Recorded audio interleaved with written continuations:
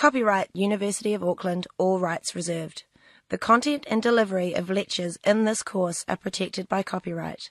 Material belonging to others may have been used in these lectures and copied by and solely for the educational purposes of the university under license. You may record the lectures for the purposes of private study or research, but you may not sell, alter, or further reproduce or distribute any part of these lectures to any other person. Failure to comply with the terms of this warning may expose you to legal action for copyright infringement by the copyright owner and or disciplinary action by the university.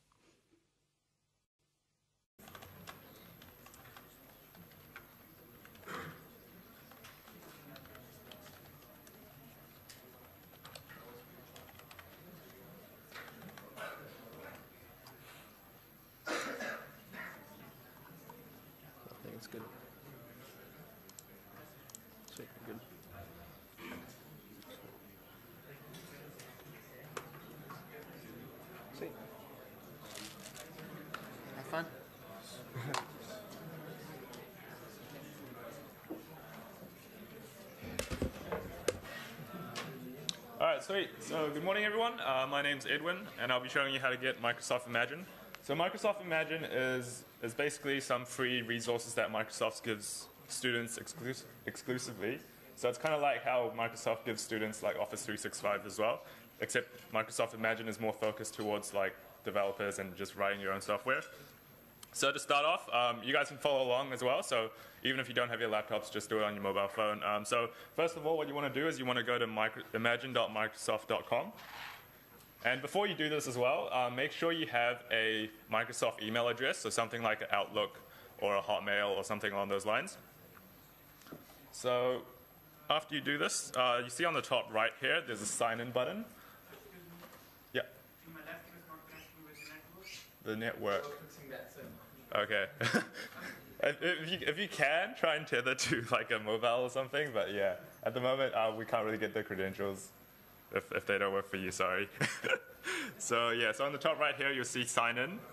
So just click on that, and um, it'll just ask you to sign in with your Microsoft email address. So. what was it?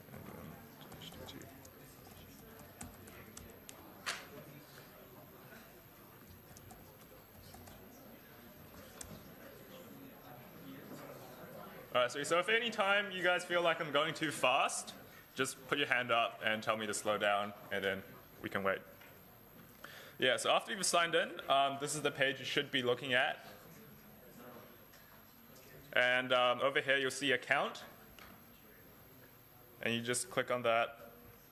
And uh, it'll just get you to enter in like what year you're graduating. And so just enter that in. So this, if this is the first time you've entered here, then this is what you'll see. University of. I don't know.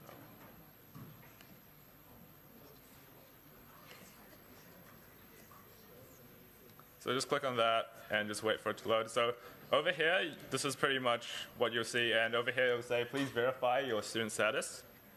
So if you click on that, um, it will take you to a page and you can verify your student status. So has everyone here got a Microsoft Imagine code that they received? No one? Okay, well, I guess you guys won't be following along then.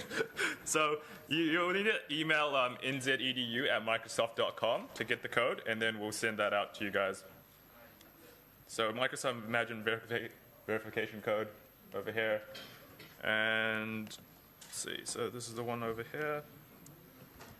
So you'll get something like this, um, like a code like this, and uh, you just copy and paste it in, and it should work. If it doesn't work, just email us, and um, we'll try and help you get that sorted. Uh, nzedu at microsoft.com.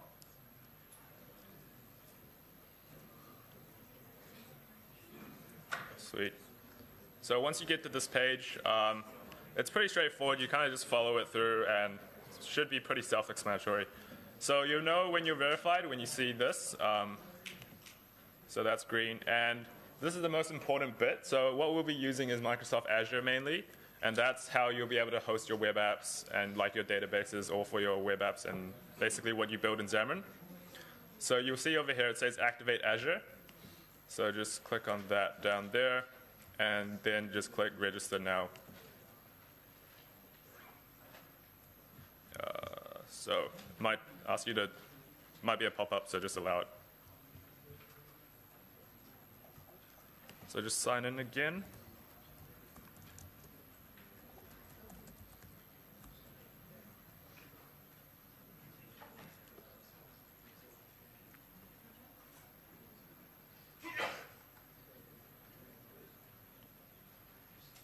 Yep.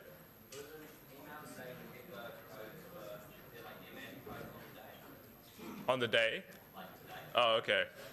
Um, I guess we'll just give that out maybe during the break or after this. Um, I might have to ask Jay to give them out because I don't have them at the moment. Yeah. So just try and follow along. Um, if not, just raise your hand throughout the day and we'll come around and help you get this sorted. Um, so after this, it will ask you to enter in some stuff like your email address again. So just do that. And for your work phone, um, make sure it works because later on it will ask you to, it'll send you like a verification code, and then that will, um, you have to enter that in.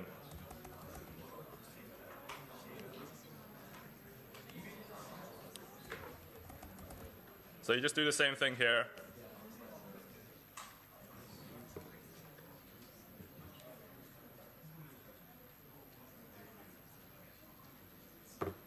And just wait for that.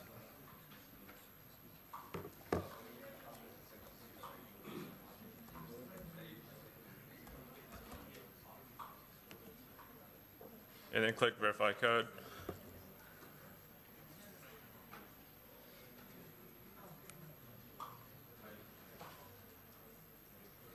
So if everyone's doing this at once, you might find that this might take a while. So I remember last year, if we had everyone activating it at once, so um, that might be a bit, bit overloaded and it'll just be a bit slow. So just give it some time.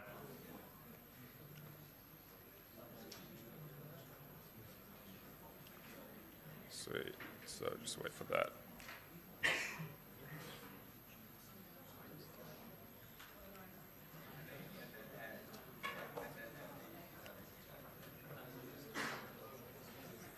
So over here you'll see like there'll be lots of like tutorials and stuff like videos that you can watch to give you a brief overview of what this is. So this over here is your portal and that's basically how you'll be creating your web apps and basically like be able to host stuff as well.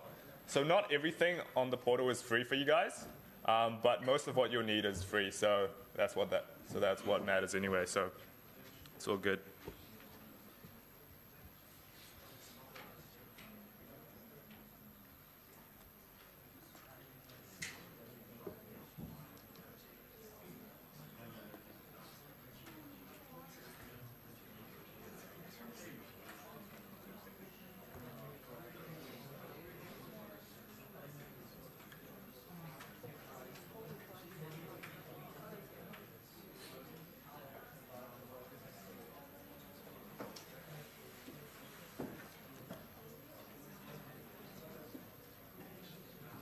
Sweet. So once that's done, um, if you click on that, it says get started with your Azure subscription.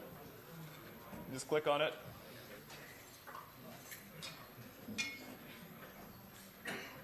And then this is kind of like your portal, and this is where most of where, this is pretty much what you'll be looking at over the next couple of weeks.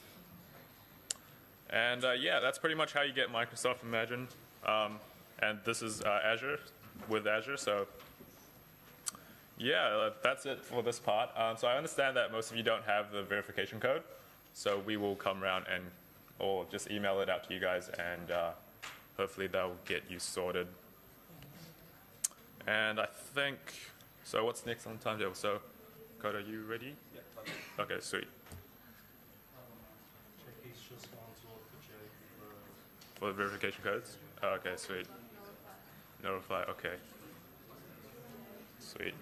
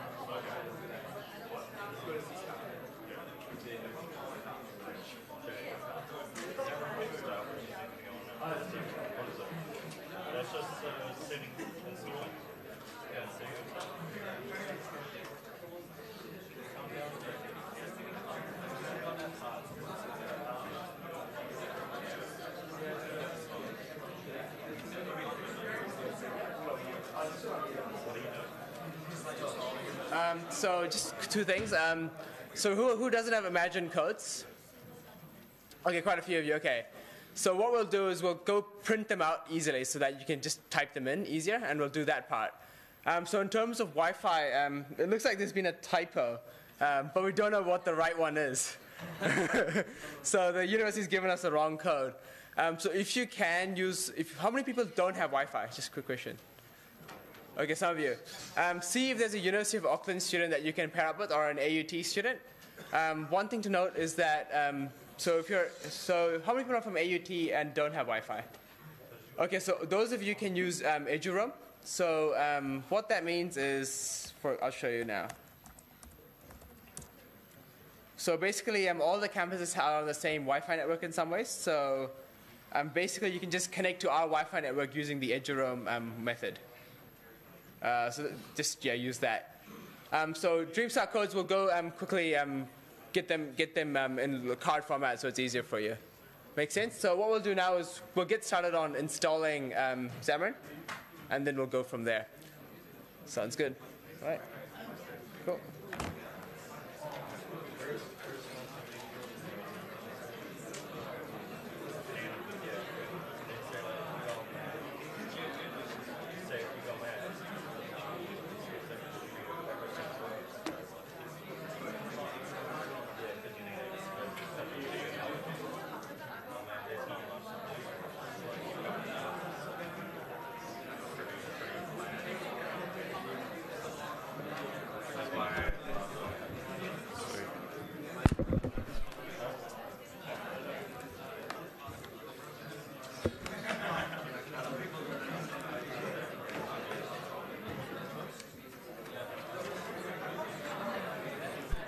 All right, guys. Um, can I get a show of hand who has Visual Studio 2017 installed? Okay, not that bad. Okay, for those who hasn't installed Visual Studio yet, um, I'm just going to show you guys quickly how to go about installing like Xamarin. Uh, if you've got, if you've got a Mac, um, you might want to install Xamarin Studio with Xcode.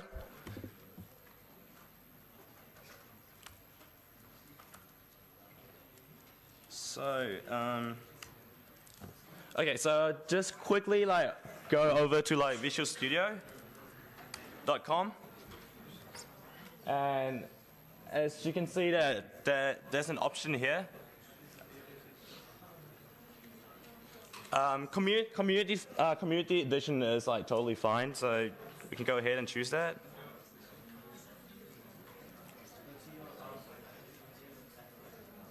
So save that and cool. All right, so just go ahead and like launch up the installer.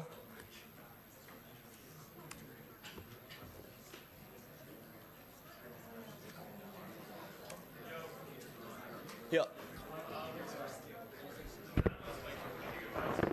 40 gigabyte. Uh, uh, get the USB from one of the MSP. So we actually have a USB installer. Do you guys have one?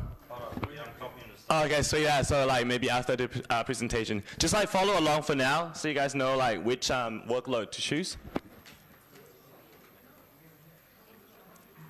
Okay, so since I already got like Visual Studio um, communities installed, uh, the windows that shows up for you guys will be slightly different. Instead of saying like modify, it should probably say install. So just like go ahead and click install and it should open up this window here.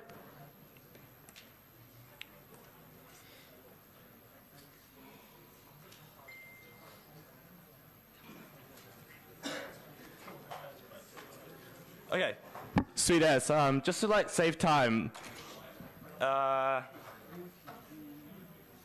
okay, the workload that you guys need for now is just Visual, uh, just uh, Azure development and mobile development dot, uh, with .NET. So that's um, Xamarin.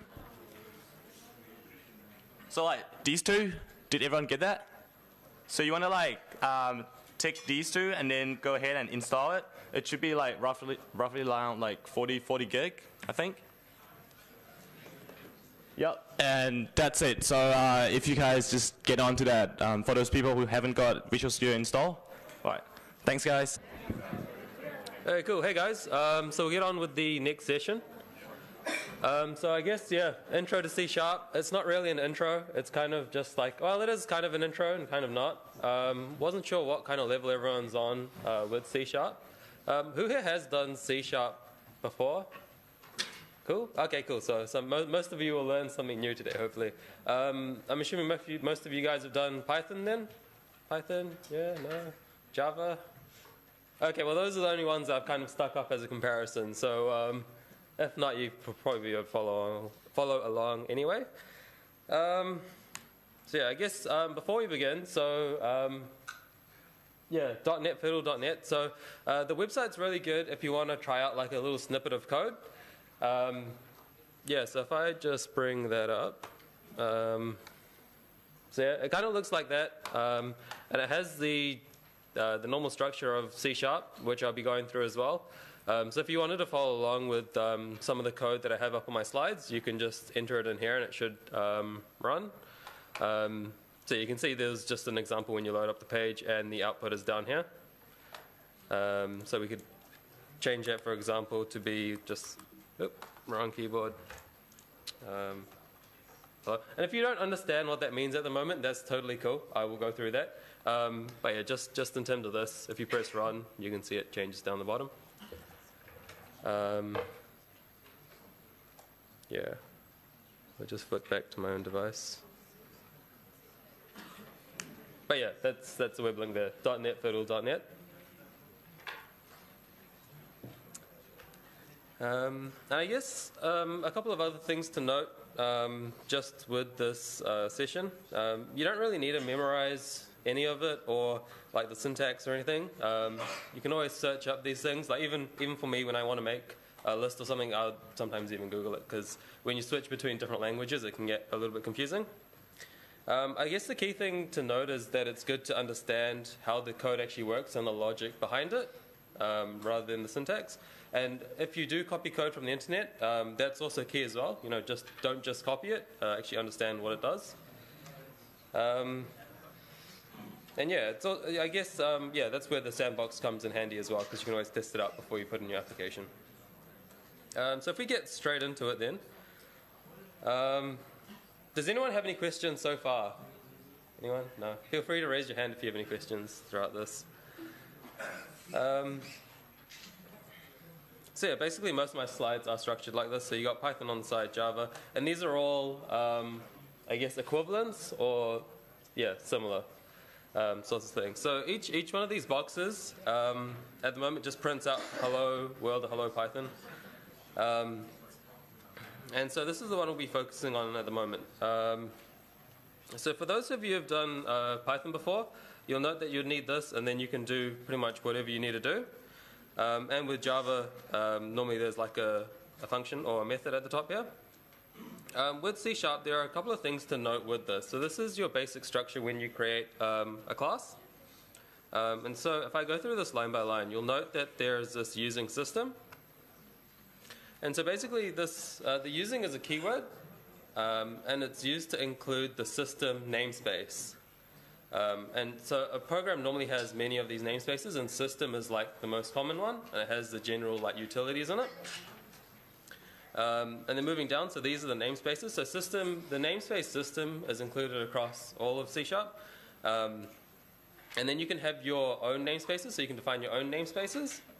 Um, and what these namespaces are is a collection of classes. So if we go down again, you can see classes. So many classes uh, will fit into a single namespace.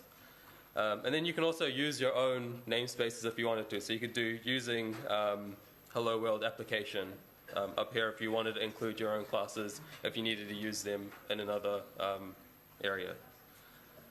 Um, yeah, and so with classes, so this is the class um, class declaration declaration dec- yeah declaration yeah, um, and basically it contains data and like methods. um, that your program uses. And so generally classes uh, contain multiple methods. Um, and you can see here, this is, this is a method here. Um, and at the moment we only have one method, uh, which is this main method. Um, yeah, and I guess some key things to note is um, just the way some of this is structured as well. So the capitalization, um, and I guess just before moving on, um, you'll note it has um, public here and public down here. Um, so basically, what that means is it can be it's it's the level of access that you have to that specific um, class or method in a sense. So, for example, um, as you know, you can have many classes, um, and within your classes, you have uh, public methods. You can also have uh, private methods, for example, and so private methods can't be accessed from different classes. Um, but if it's public, you can access it from different classes. Now, this may seem really confusing to begin with. Um, even sounds confusing when I'm saying it right now. But um, when you do try your examples out, it will make a lot more sense. Um, yeah, and I guess for those of you who are moving from Java to C Sharp, uh, just a note, um, just with your method names, um, you'll note Java normally has first lowercase. Uh, with C Sharp, it's always first uppercase. Um, yeah. Uh, is there anything else I need to touch on this? Oh, yeah, and also one thing to note is that um, with classes, um, the first method it always goes into is the main method.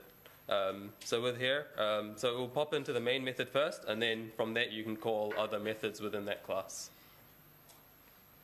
Um, yeah, any questions? No? Is this basic stuff for you guys? Do you guys already know this or not? I don't, I don't know. Okay, I'll continue. Um, yeah, so within so within your classes um, and within your methods, you'll have variables, uh, which is the ne- next part here. And so variables um, are basically different things within your program in a sense. So uh, they have different data types. So, like for example, numbers, decimal places, um, words, or what we call strings. Um, there's also like boolean, so like true and false. Um, so for those of you moving from Python, you normally don't have to define them. You just add in your variable name, and then you can do whatever. Yes. Yes, Python is dynamic. Yep. Um, so yeah, normally you don't have to define them. Um, however, in C Sharp and um, in Java, yep, um, you have to um, specify the data type um, before assigning it to something. Um, so, for example, if you want to use uh, words, you define the variable as a string. Um, for numbers which aren't decimal places, um, they're called ints or integers. And if you wanted to use a, a, decimal, you could either use a float or you could use a double. Um, there are many data types. I've only included some of them up there, uh, just as an example. Um, and it's also key to note the um, the the uh, yeah the casing there, so how it's lowercase. Um, and you can also use comments, so just a double slash as a comment. Um, with C Sharp, you can also use uh, something called var. So sometimes you may not know what the data type is. Um, and so if you use var, um, the compiler will just auto choose uh, the best data type or the most appropriate data type. Um, personally, I don't like using it, but feel free to use it. Um, it can get a bit confusing if you don't know what it is. Though if you do understand your code, it's totally cool. Uh, so, for example, you'd just do var name John, and you wouldn't have to define it as a string. Um, yeah. And I guess um, just something with the syntax as well. Um, generally, with variable names, um, which is these ones here, uh, you always have the first letter as um, not, not a capital, it's a lowercase, and then any subsequent letters, uh, you'd have them as uppercase. Um, another thing to note is you can't have spaces. So if I went back to, um, I guess this here, uh, we can go ahead and define a variable, so a string name equals coda. Um, and also to note, you need to have um, these semicolons um, after them when you're using them uh, during the line. You don't need them for um, when you define your class or your um, methods, but for everywhere else you do need them. Um, and also to note, just this um, little exclamation mark, it basically means that you're not using the variable, so you can kind of ignore that. Um, if there's a red circle, then you know you've done something wrong. Um, so if I went here and then went um, and just added the name um, and then ran that, uh, you can see my name pops up here. Oh, yeah, my name is Coda, by the way. I forgot to introduce myself. Generally, I don't think that's very important. I mean, the content's more important than my name, but there you go. Um, and then, as I mentioned, you could change. So if you didn't know what your data type is, you could just change it to var. And if I ran that again, uh, you can see it doesn't throw any errors and runs perfectly fine. Um, yeah. Also, um, to note, so um, the way you refer to your variable is also very important. So if I were to go and change this to a capital, um, you can see it comes up with a compilation error. Um, so whatever you name your variable, you have to use uh, the exact casing. So C sharp is case sensitive. Um, and as mentioned, see this little red cross, so it says it doesn't exist. Um, yeah. Um, yeah, so I'll go back to the slides. Uh, any questions so far? Am I going too fast or is it right pace or no? I don't know. Okay. Um,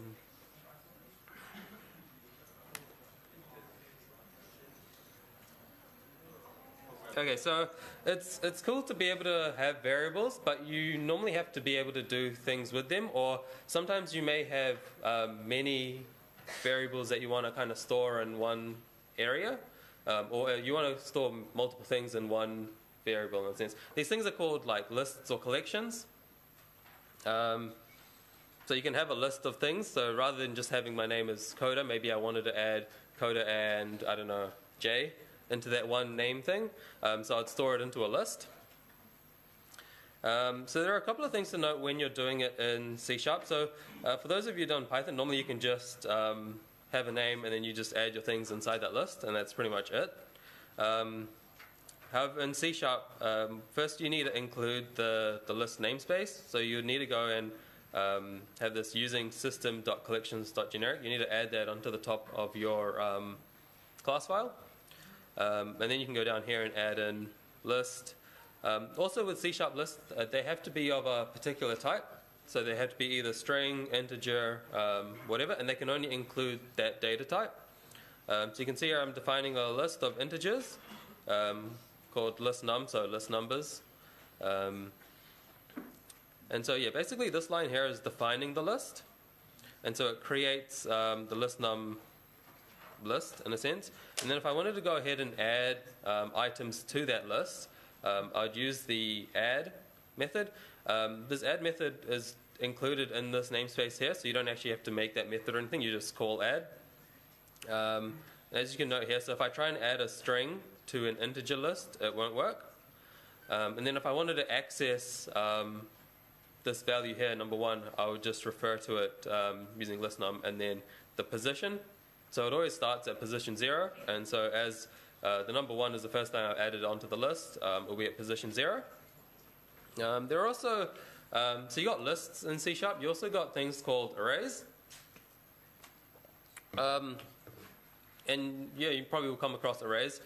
Um, I don't generally use arrays, so the thing with arrays is you can't, um, once you define it, you can't add extra items to it. So, for example, if you define an array to have, I don't know, seven things in it, um, it becomes a bit of a problem to then if you wanted to add an eighth item to it. So, they're good for things um, where the lists won't change. So, for example, if you wanted a list of, um, of days of weeks, uh, you'd probably store it in an array. You could also store it in a list, um, but you couldn't then, in, in, if you stored it in an array and then you wanted to add like an eighth day, if there was ever an eighth day, you wouldn't be able to do it.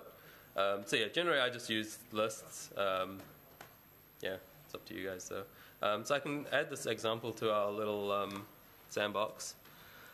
Um, yeah. I went back here. Um, where is this? So, yeah, so I can only store one value in our string. So if I were to use, so if, if I tried to create a list without um, adding in that namespace that I talked about earlier, um, it would probably throw an error. So if I go ahead and try and define a list, list of ints, or we could do a list of strings, just whatever. Uh, string, uh, list names, um, new list.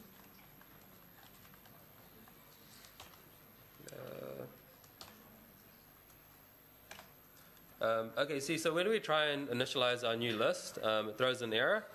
Um, so you can always scroll over. Sometimes they provide good info on it.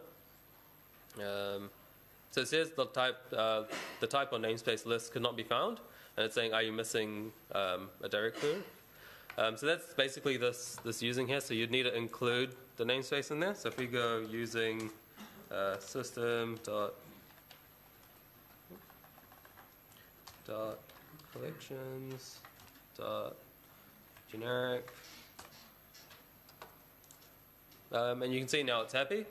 Um, so, yeah, so this this initializes the list, um, and then if we wanted to go ahead and add items to the list, so you go list um, name dot add. Code it semicolon um, and you have to use a right variable name and then I can go ahead and add other names to it as well. So list names dot add. J. Um, Yep, and then down here, if I wanted to access, for example, J's name, I could go ahead and just go list names, and then the square brackets, the position of where it would be, and as you can see, it prints out J. Um, yeah, I guess something I also didn't mention about variable names, they can't have spaces either. So um, see this um, string variable name here, if I went and did space and did name of person, um, it's not going to like that because you can't have spaces. Um, so for example, if you did need multiple words, as I mentioned, you would just do a capitalization per new word. Yeah. There are also other methods you could use on um, your list name. So you can also remove items from your list. Um, you can also find the length of your list. Um, you can generally just see these methods by going list, names, dot, and then these are all the methods that you can kind of do on your list. So add range, you can clear it, um, equals find. Um, yeah, so you can do a whole bunch of other things as well. So I think there should be like a size one maybe. Uh, or it might be index of, but you can find the length of it as well. Um, any any questions so far?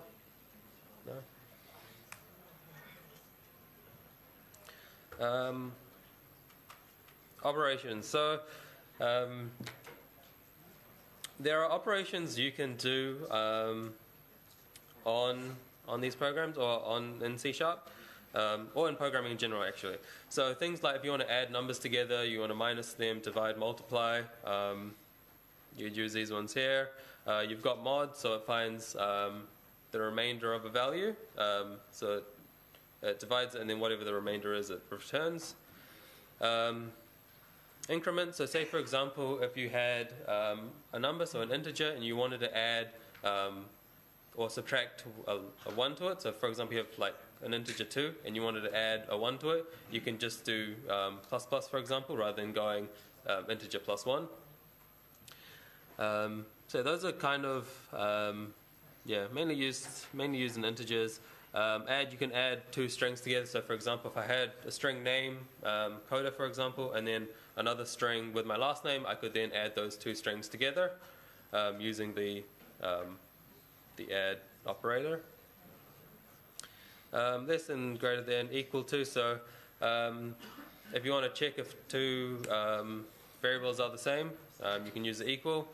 Um, it's good to do it with integers. If you wanted to compare two strings, you'd use a method, um, which is like the dot equals method. Um, you got not and um, yeah, it's probably you'll come to find what these are actually good for when you try and do some examples um, in the sandbox.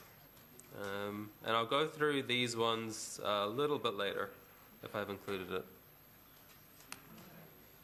Ah, yes. Okay, yeah. So decision making. So um, these last three here, um, they're really used in this next slide, which is the decision making sort of slide. And uh, I guess, yeah, these last five in a sense all, will all be used in this decision making sort of stuff. So um, you'll note sometimes that um, if a variable is, um, has a particular value or, or if it's, um, yeah, if it's a particular value, you want it to do some things, otherwise you want to do something else. Um, and so to kind of do those sort of um, process flows, you'd use an if statement. So generally how it works is you have your if and then you have your condition. So for example, um, if someone's height is equal to 100 centimeters or if it's equal to or greater than 100 centimeters or if they're shorter than 100 centimeters, for example, uh, then you may want to do something. Um, and so that's when this if kind of comes in handy. Um, and then, um, so you can have an if, you can have an if else, so ignore this if here. Um, so if it's this, you want to do that, otherwise, you want to do something else. And alternatively, you um, may have an if, an else if. Um, there may be another condition you want to check for. So, for example, you could do, um, I don't know, if uh, someone's weight is 80 kilo, else if, um, yeah, and so if it's not, if they're not 80 kilo, then you could do else if, if they're 85 kilo and um, 100 centimeters high or whatever. So, yeah, um, yeah. I'll go do an example because that makes no sense. Um, so if I delete this, so what I'm meaning, so I'll, I'll define some. Why are you not popping up over there? There you go. Defines variables, so um, weight one equals fifty.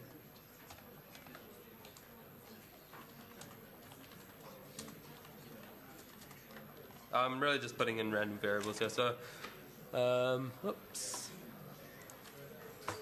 Also, please name your variables meaningful names. These are bad variable names, um, just as a note. You go if, uh, for example, weight.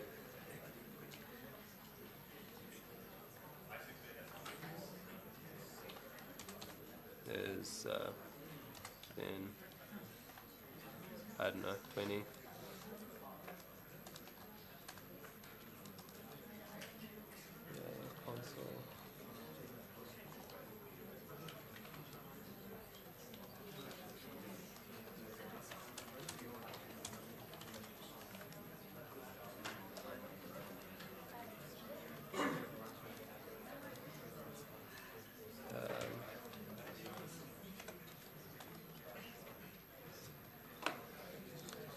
Um, so yeah, this is what's wrong here.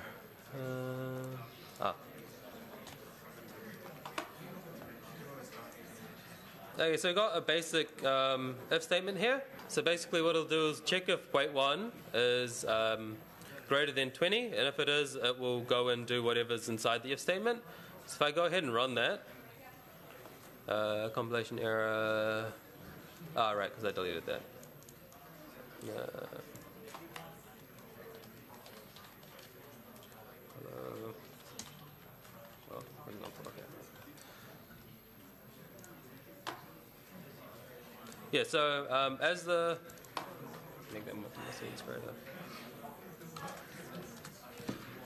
Um, so you can see the weight is greater than 20 kilos, so um, or weight one. So it's gone inside the if statement. It's printed off. Weight is greater than 20, um, and then it's gone ahead and done the rest of the execution as well. Um, if I were to go ahead and change this, say for example, if weight 1 is less than 20, um, you can note that as weight 1 is greater than 20, it doesn't go into here. Um, yeah, so that's kind of how you can use if statements. Um, and then when I was meaning the else, so you go else. Um, if I go here, else, um, console.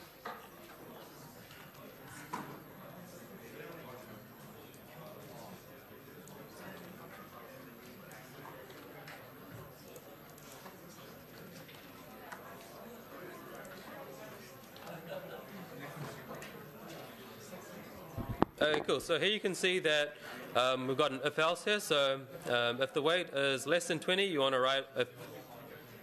Yeah, um, you want to say that it's greater than 20. Otherwise, you want to say that the way. Wait a minute. My logic is not right here. Oh yeah, yeah, no, that's fine. Yeah, yeah, that's fine. So basically, you say no. This is wrong. Greater. Sorry, I'm trying to think and do this at the same time.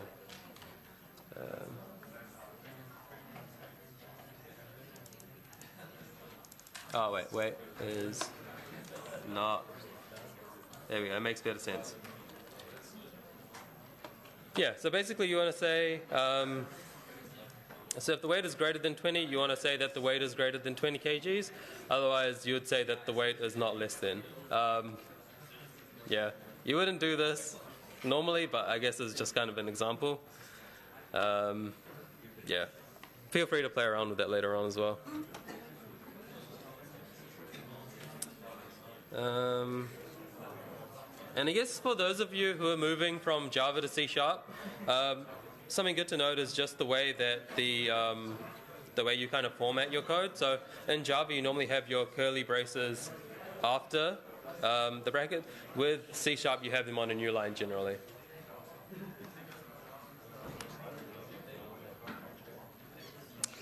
Um, so there is another part of decision making um, that you can use in programming. Yeah, I mean, if you guys want to talk, feel free to go outside. But like, there are other people here that want to listen.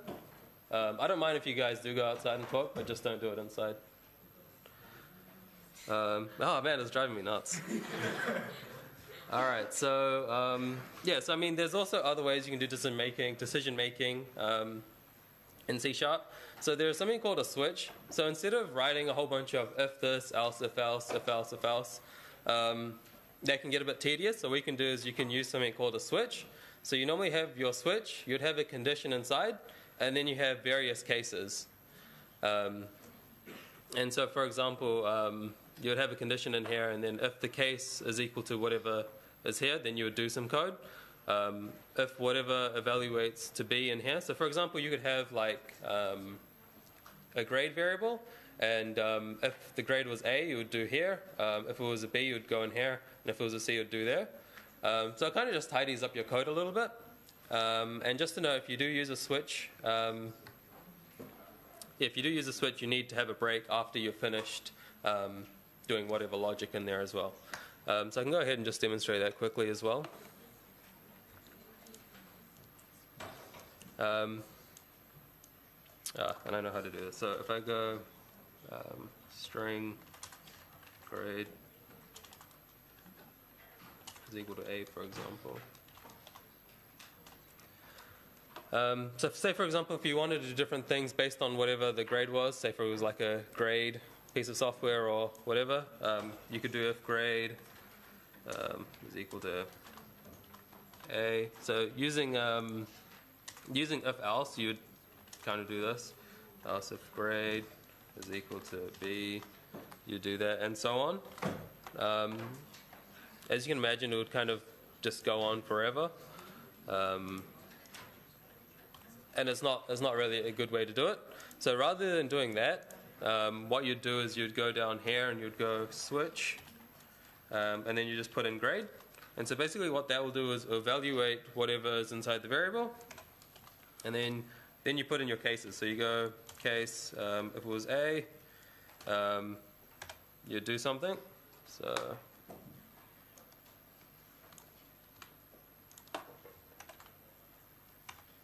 um, and then you go break.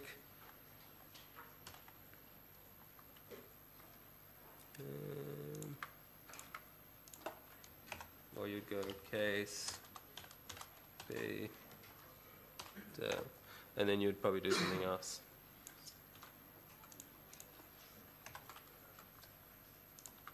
Uh, what is it complaining about? Ah. Um, also note the way you define your strings. So there are other data types that you can use for words. So there's characters, which are called chars, and there's also strings. Um, and the difference between them is the, the quotation marks. Um, so chars are used single quotations. Um, so just change that to that. Uh, so if I comment that out, Um, yeah, you can also uh, comment out, whoops, comment out blocks of um, code using um, slash star and then closing it off with a star slash. Uh, so if we go ahead and run that, hopefully it should work. Um,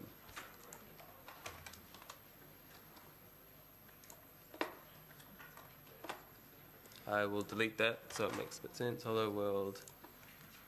And A. Um, so you can see because grade is equal to A, it goes down to this switch statement and then it breaks off um, and it doesn't go in here. So if I were to change it to B, it should go to the other one. Uh, yeah, so you can see it's changed to B. Um, so yeah, this is just generally a better way to do this. Um, yeah, it's just a bit more tidier. Um, cool, move on.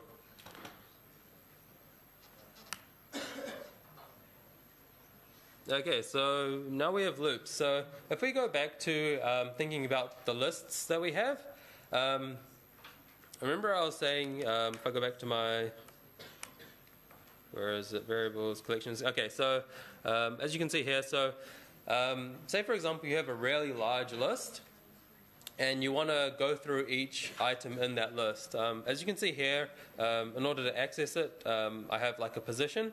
So if you wanted each one of those items in that list, you would have to then go through like list num zero, list num one, um, and then go through like your entire list. Um, and especially if it's a dynamic list, um, for example, you wouldn't know how many items are in that list as well. And so then it can get a bit confusing on how to access whatever's in that list. so that's one of the cases where uh, loops can come in handy. You can also use loops to do other things, so adding to the list or even doing other other things not related to lists as well. Um, so there are kind of two ways you can um, do loops. So you got uh, the first type is like a while loop. So while whatever's in here. So this is normally like a statement. So for example, um, you could do like while you haven't reached the end of your list, um, keep doing what whatever's in here. Um, or like yeah, so until it's um, yeah, while it evaluates the true, just keep doing that. you've also got something called uh, for loop. Um, and so basically, there are three parts to a for loop. Um, and while the condition is met, uh, it will keep doing whatever's in here. So basically, you have your, um, you'd kind of set up your condition here. So you'd set it up. So for example, we've got an integer i. Um, so that sets it up. And then this here is the condition. So you can see it's, um, you got one and then semicolon. This is the condition. So while i is less than 10, um, and then you've got here, so this this adds on to the i, so then you don't, so that you can exit out of the loop. Otherwise, you'd always be stuck in the loop. Um, so basically, what this will do is um, we'll go i is equal to zero, so it initializes i. Uh, it's less than 10, so it does this, and then whatever, whenever it reaches down to here, it goes back and it adds one more to i. Um, and this was that increment um, operator I was using before. Uh, so here, this will change i to 1. It will then check that 1, um, that 1 is less than 10. So it will go back and do this, and it'll keep doing that until i reaches um, 10, which then it's no longer less than 10, and then it'll pop out. Um, yeah. So you guys can try that out in that sandbox as well. Um, yeah, I think this is yeah this is the last slide. So uh, just before I wrap it up, so um, as mentioned when I started the session, um, within a class you can have many different methods. So generally you wouldn't stick everything you're doing in the main method because um, it can be it's it's not good practice in the sense that um, you may need to reuse parts of your code again, and so it's no there's not good to just like copy it and then like paste it again. Um, so generally, if you come to a stage in uh, in your um, when you're coding, I guess, and you kind of think oh, I need to use this block of code again, it's always good just to move that into a method and then call that method again. Um, yeah, it reduces the line of number of lines you have in your program and it makes it a little bit more tidier. Um, and so in order to do that, um, what you do is uh, you need to define your method. Um, so once again, you need its access level. So you've got public. Um, there's also other ones like private. Uh, I think there's protected as well. Um, yeah, there are there are a bunch. Um, so you got public and then static. So you don't always have to have it as static. Um, now, understanding this sort of static concept can get a little confusing. Um, it's still, even for me, it kind of confuses it. How I kind of think of it is like if your method is kind of like a tool, um, you would have it as static. So things like adding two numbers together. Um, for example, if you want to compare two numbers, or um, perhaps you want to, yeah, I don't know. If you're if you if it's kind of like a tool, you would have it as static. Basically, what um, what this means is um, if you have it as static, you don't need to have an instance of that class. Um, so as you can see here, I can just call the method. Um, if this wasn't static, I would have to create an instance of the class and then use that class or the instance of that class to then call that method. Um, yeah, and that's super confusing, and it still confuses me. Oh, it doesn't confuse me, but it just it just sounds confusing. Um, but yeah, you'll know when you need to use it as static because the compiler will complain saying, "Oh, this method needs to be static," and you're like, "Oh, I don't know why, but I'll do it." Um, yeah. And then moving on, so you got public static. Then um, if it returns something, so see here I'm returning an int. You need to um, say in the method signature um, that it returns an int. If you didn't want to return anything, you just have it as void. Um, so if I go back here, you'll note um, that the main, where is it? Yeah, see the main method, because um, you're not actually returning anything in the main method, it's a void. Um, moving on back to methods. Um, and then you would have your name of your method. And these um, don't necessarily need to be unique, but whatever the signature is in here, it would have to be unique if you're using the same name. And I guess just the convention in C sharp is just have um, capital letters uh, for the starting of the word. Um, yeah, and then you'll note here that you have these um, brackets. So if you wanted to pass in variables to this method, um, you'd have to define the structure within this method. So um, here you can see I'm calling the method, so that's its name, and then I'm passing in two ints because I want to add those two numbers. So in the method, I defined an int, int1 and int2. Um, you'd, you'd name them a little bit better as just an example. Um, so say, for example, if I didn't have int1 and int2, I wouldn't be able to pass in two numbers into there. Um, and also with this, just to note that when you pass in, um, you can then refer to whatever gets passed in by whatever you've called it. Um, so you can see here I'm passing in numbers. I haven't passed in variables 1 and 2. Um, but in the method which I've defined, I can then use um, one and, and two um, to do things. Um, yeah. Yeah, and you don't you don't have to. You could just have empty brackets. So if you go back to that main method, you'll note that it's just um, two empty brackets. Um, I can guess I can go through an example just of this. Um, because there are a couple of things to note when you're doing methods. So if I go ahead and delete all this again. Um, yep, so you can see here, so you got your public static void main. Um, there's nothing in there at the moment, and this is your main method. Um, so say, for example, um, and number, um, I won't do anything to it. Um, say, for example, I added two numbers together. Um, so actually, I'll do this in, in another sense here. Um,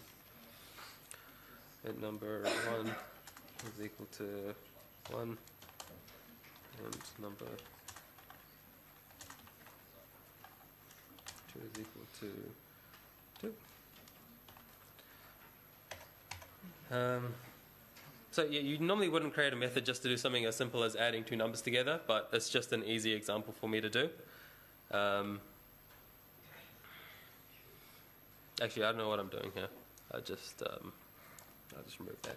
Anyways, um, say for example, I wanted to um, in multiple places on my code, I'm adding two numbers together, and I just don't like that plus symbol. So I'll create a new method, for example. So I'll go ahead and create as public. And as you note, you can't create another method inside of another method. So um, this curly brace here um, shows that it's the end of this main method. So after that, I can create another method. Um, with methods, they need to be inside classes though. Um, so I'll go public. And if I don't add the static um, thing in yet and just go int, um, add numbers for example.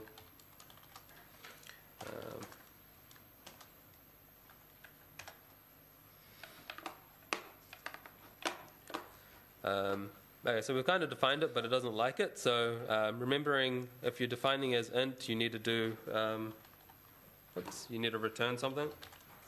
Um, if I just do return one. Why does?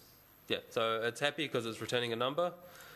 Um, and for example, if I try and call it, it won't be happy. So this is what I was meaning with that static stuff. So if I go ahead and just call add um, numbers.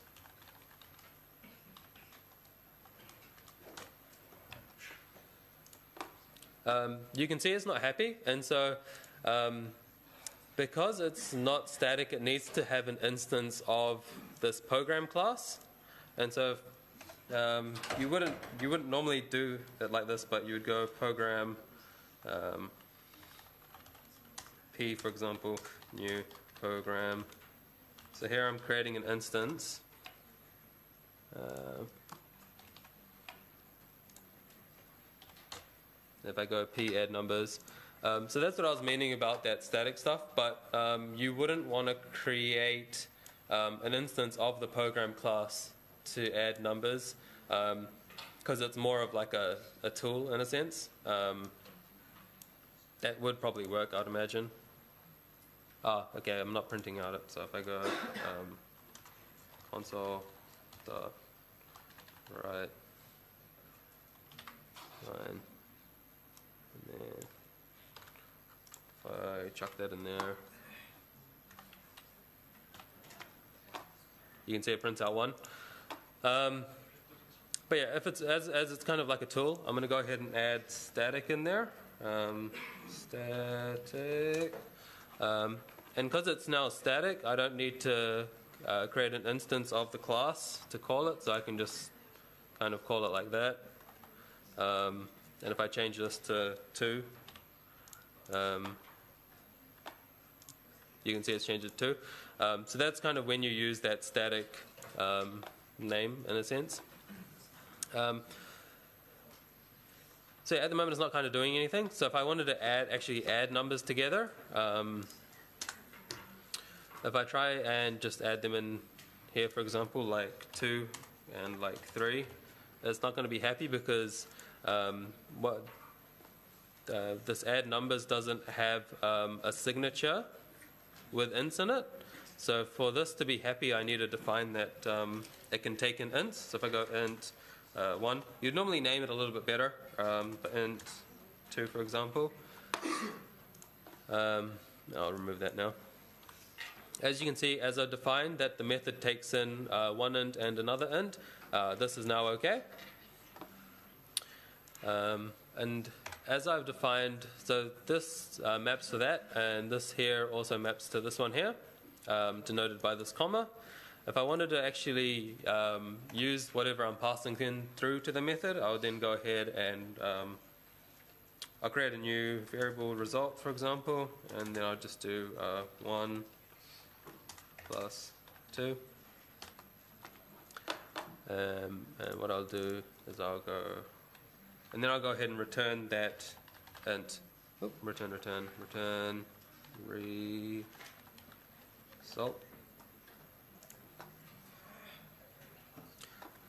Okay, cool. So basically what we're doing here is we're calling the add numbers method. We're putting in a 2, we're putting in a 3. Um, the process then goes down into our add numbers method. Um, it takes in two ints, as you can see here. Uh, we then refer to whatever's passed in with these variable names, so uh, 1 and 2, and basically we're going to add them together. We're going to store them in the int variable called result, and then we're going to go ahead and result, uh, return result. Um, and yeah, and then it returns it back to here, and we're printing out 5. Um, and then this way we could just do, like, we could change the numbers and it would be fine. And so basically, if we're adding in numbers, then um, instead of um, writing this line here. So normally in a method you'd have multiple lines. Um, so then you can just call that different times um, with different things. And now we're passing in a 7 and a 3 and it's returning 10. Um, so I hope that kind of explains the use of methods. Um, and I think I think that's it. That's kind of like the basics to it, um, and they'll get you started on what you kind of need to do. Um, some good places to go if you want to kind of learn C Sharp. I always refer to um, a website called Tutorials Point. Um, I always find it's always good. It's structured well, um, and yeah, um, well explained. If there's any questions, feel free to come talk to me after, or raise your hand now. But I don't think anyone's going to raise their hand, so it should be all good. All right. Oh, thank you, thank you. All right, awesome. Hope you guys enjoyed learning some C Sharp. Awesome stuff. Um, so just following up earlier on the day. So um, I've got DreamSpark, uh, Microsoft Imagine codes here. Um, we don't have scissors to cut them, so just like cross it out when you use one. Um, and I'll just come around. So who, who, hands up again? Who doesn't have them? Okay, so I'll just like pass it around in the rows and just pass it along if you like need the codes pretty much. Um, so, um, do you have a question? Oh, okay. All right, it's cool. Um, so what we'll do now is a big part of the MSA program is meeting each other. Oh, uh, hello. Shh. Um, so you guys, if you want to talk, like you know, feel free to talk. You know, it's great. But um, it's just when we're up to the front, it's kind of hard for us to talk, like because it's the audio is like amplified, so it's louder for us at the front. So that's the only problem. Um, but yeah. Um, so in terms of our next, what we're going to do now, um, there's two parts, and they're both very important. The first part is making sure that you've successfully installed Xamarin. Um, because in last year, what happened was um, people thought they'd had it successfully installed and stuff like that. Turned out they didn't, and they couldn't follow along for the next part of that of that course. Um, so today in the afternoon, um, we're going to actually bring forward the schedule a bit and kickstart at 1:30, uh, so 1:30 p.m. instead of 2. Uh, but basically, um, the plan is we're going to get Jason and the MSPs to kind of deep dive into Xamarin and building out your first mobile app and deploying it. But to do that, we need you to make sure that you have Xamarin successfully installed. Um, I know that the, the, file to install is 30 gigs or something like that. Um, so if you haven't already installed it, um, so I've got a USB here, and we've got more USBs coming. Um, so these have the full installer on them, so you can install them on your computer. Um, we do need them back at the end of the day, so um, so we can use them again. So just the only thing. so if you need, if you haven't installed it yet, you know, come see us as soon as the social stuff is done, and install it over lunch. Um, if you need Microsoft Imagine codes, I'll leave them. Um, I'll, I'll pass them around as well, and you can install them and make sure that by 2 o'clock or 1.30 p.m. that everything's installed.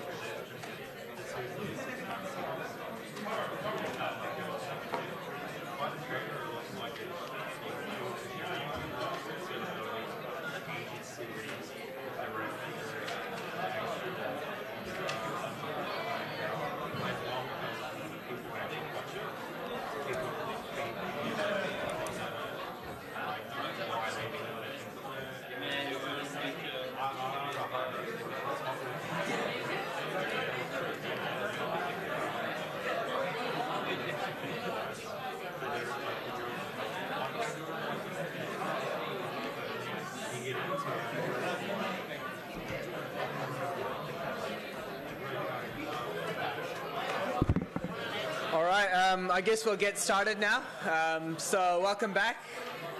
Uh, just, um, so welcome back. So for those of you who don't, don't remember my name, uh, my name is Jay. Um, so this afternoon we'll be covering off some more technical stuff. Um, so first of all, I'll start off by going through uh, Azure. So, um, so I'm just going to close this stuff. Uh, but going through what Azure is and some of the features within it, and just giving you a quick walkthrough on some of the features within it. Uh, followed by this, we're going to get started into Xamarin and um, doing some coding stuff. And we'll aim to close off the day by 4 p.m. at the latest. Um, so before we kick off fully, I just want to say that by the end of today, uh, you should be able to kind of complete Module 1. Um, so uh, by the end of this whole thing, um, you'll be able to deploy an app, take a screenshot, and basically submit it in terms of the submission portal, so um, you might have figured out by now that submit.msa.ms does not work. Uh, but what we're going to do is I've got a new one for you, which I'll um, which I'll put up soon. But basically, it's aka.ms, which you might be familiar with. Submit MSA. And basically, that'll take you to a website where you have to enter in your Microsoft email address, and you can basically hand it in. Um, so if I try my one, it should work, I think. Let's just see if this works. Oh, yep. It'll take you to the Microsoft login page. And and press ex- yes on permissions.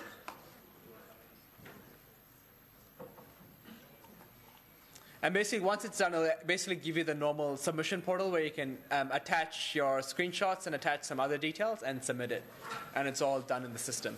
Uh, you'll also get a confirmation email, but just be aware that this might go to your junk email. So just make sure you check that before you let us know. Um, you can, can you submit multiple times? It's not recommended, but. No, no, you can't. Oh, you can't. Okay.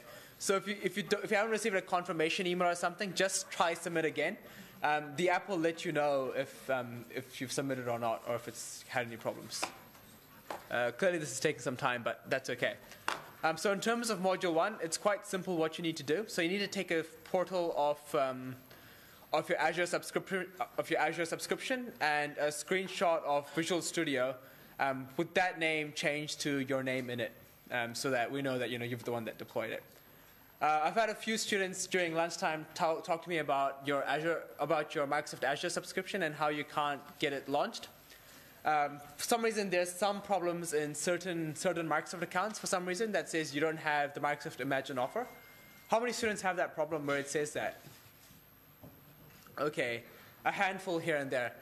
Um, the best method for that is to email NZEDU, um, and what we'll do is we'll submit a bulk, bulk support request um, to our engineers. Alternatively, try create a new Microsoft account and see if that works, because we've got plenty of codes to go around. So just create a new one and see if that works. Yep. What if don't say someone was and you had a previous yeah, the old one and get the new one? Okay, um, so the question was for those of you that have done MSA previously, you might already have existing Microsoft Azure subscriptions. Um, continue using those, and when it expires, you can use your new one. But how long do you use the last one? Um, so they last for a year. Because I did about fifteen and go by five lives now. Yep. Um, so yeah, just for that. Um, so, uh, um, but yeah, usually the submission portal. Will, Oh, okay, the submission portal will get fixed soon. Don't worry. we have some technical problems of our own. okay, so what I'm going to cover off now for the main part of the day is all about uh, Microsoft Azure. So, how many of you know what Microsoft Azure actually is? Okay, one person. That's great. So I can teach you a bit. So let's go to that. I'm going to use my device for this. Okay. Uh, so where is it? Okay. So I don't have any slides for this, but basically, um, when you think of the internet, right? Whenever you go to any website in the world or anything that you access, um, you're accessing someone else's computer in some ways, right? So when you go to you know Google.com, you're accessing Google's computer somewhere in the world or something like that. And what happens is this is what the computer looks like usually. So if you have your home computer and you're you know, logging into that, it's got an IP address to it, and you can log in. You're accessing your computer. Uh, generally speaking, about 80% of the world's web traffic resides in servers like this. So these are massive, massive data centers um, that exist across the world in various different forms in various different places. Uh, many companies have their own in-house servers. So those of you that study at the University of Auckland and AUT, um, so both those university data centers are actually in this building. So if you go to level one car park, um, all four levels of the car park have some form of, um, not as high tech as this, but some, some form of data center, where all the web traffic and all the files and folders you access go down there. Um, their primary function is to process and deliver data as fast as they can. Um, so the ones downstairs, because I used to work at the university, the ones downstairs have 10 terabyte solid state disks, and they basically have um, about 100 of them, and they just process bulk loads of data every second, uh, millisecond basically.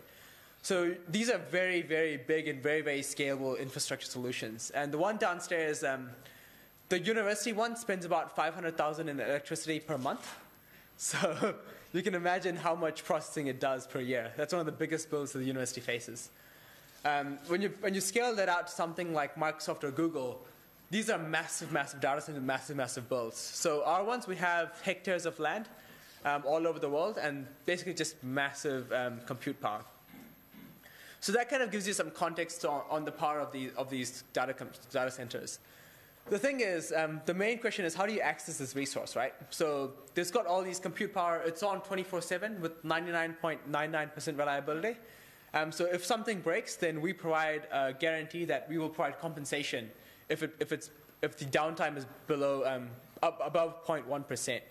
So that's how reliable these things are, enough that we can provide compensation to businesses across the world if something goes wrong.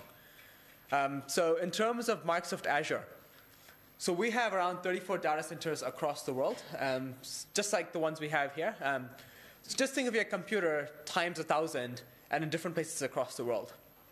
Um, the closest one to New Zealand is in Australia. So we have one in Sydney and we have one near Melbourne. Um, that's basically, and those are basically identical. So across the world, we have identical data centers that all have the same, mostly have the same capabilities and the same feature sets. We also have special, um, special data centers in places like Germany and China to account for special uh, geographical restrictions, for example, on government data and healthcare data and all of that. Uh, these data centers can basically do anything you ask them to, which I'll quickly show you so that you kind of have some picture on what you can use. So in terms of these data centers, all these data centers are also connected. So when you deploy an app um, in Azure to a data center, for example, in Australia, in Sydney, um, that data can also be replicated, for example, in um, Beijing.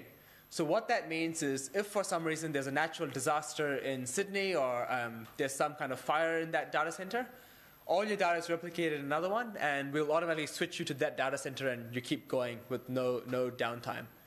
So you can imagine um, a previous, uh, quite a few years ago with the Christchurch earthquakes, um, a lot of companies in the CBD, they couldn't access their data um, simply because you know, they couldn't enter their premises and all that. Um, the companies that had their data on clouds like you know, Azure or Amazon's AWS or Google Cloud, um, they're able to get their business up and running the very next day. So you can kind of see the business reasons why you'd want to use something like Azure. And obviously, the other reason is cost. So uh, when you go into your work placements or when you go into your industries, a lot of companies may have in person data centers. Um, what that also means is they'll need a staff to manage it. So the university, they've got 24/7 staffing downstairs in a windowless room, um, just managing that data center, you know, three shifts a day, 24/7, all every day of the year. What that means is it's quite expensive. If something breaks or there's a fire or something else, it's very expensive to fix it. For us, um, in terms of scalability, the cloud, the reason, the biggest reason the cloud exists is cost, right? Um, now, all you need to do is you just need to deploy a web instance to something like Azure, and immediately we take care of all the infrastructure, all the data, all the costs, and everything else. And you pay simply in terms of the amount you use. So that leads on to kind of scalability. So when you think of scale, um, so for example, all of you would have you know, been interested in building apps and things like that. Um, those of you that have done, you know, like some papers on, um, you know, data structures and algorithms will know that programs operate differently at, you know, for five users and they operate differently for a billion users.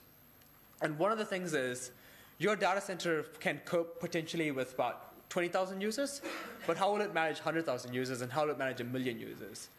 Now, if you're a company like um, the Rugby World Cup, so one of the biggest customers that we had recently was the Rugby World Cup for Microsoft Azure. Um, you can imagine that their usage only increases once in four years. So on average, they get about uh, 100,000 visitors per month, for example, on any given month during the year. And then when it comes to the Rugby World Cup, they get nearly a million visits per day or something like that, something crazy. What that means is before they had to have this massive infrastructure running for four years just for that one day of the, of the finals and stuff. Now they can, they can just use Azure and scale it up and scale it down as much as they need in terms of scalability. So those are some of the reasons why we have um, data centers and why they're so popular nowadays.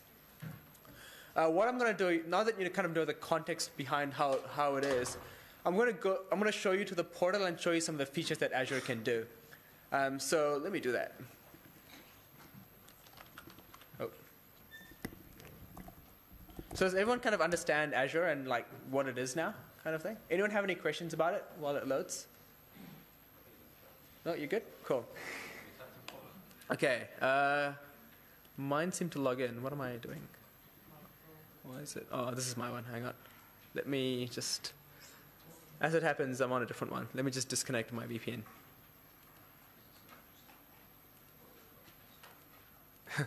okay. so Microsoft isn't letting me disconnect from my VPN. oh, okay. Oh, okay, that's good.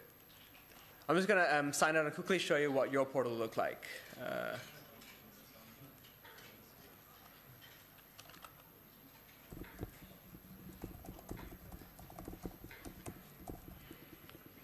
So when you type in your um, Microsoft email address, you'll get taken to your Microsoft uh, login page, which is different.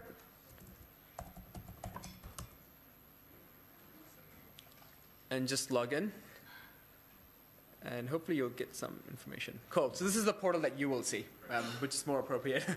um, so um, initially, as soon as you come to it, you'll see a bunch of stuff running, uh, or you might have something blank. Most likely, you'll have just blank pages. Um, oh, can you just get my charger? I'll say thanks. Um, so this is the dashboard, right? So everything in here is just uh, like a quick overview of what's going on. Um, if you look at service health, you'll see these green ticks. So this basically shows our data centers and um, if there's any problems in them. As you can see, all of them are running really well and there's no problems, which is all good. Yep. Okay, just think about the location. Say, say, so say you do like a SQL database on, uh, say, uh, east, uh, southwest Australia. Yep. Like, and the same location applies to, uh, there's no same, but I project because when I did last year, we had to like, that, like, create one, uh, something on southeast Australia, but I could live in the next one.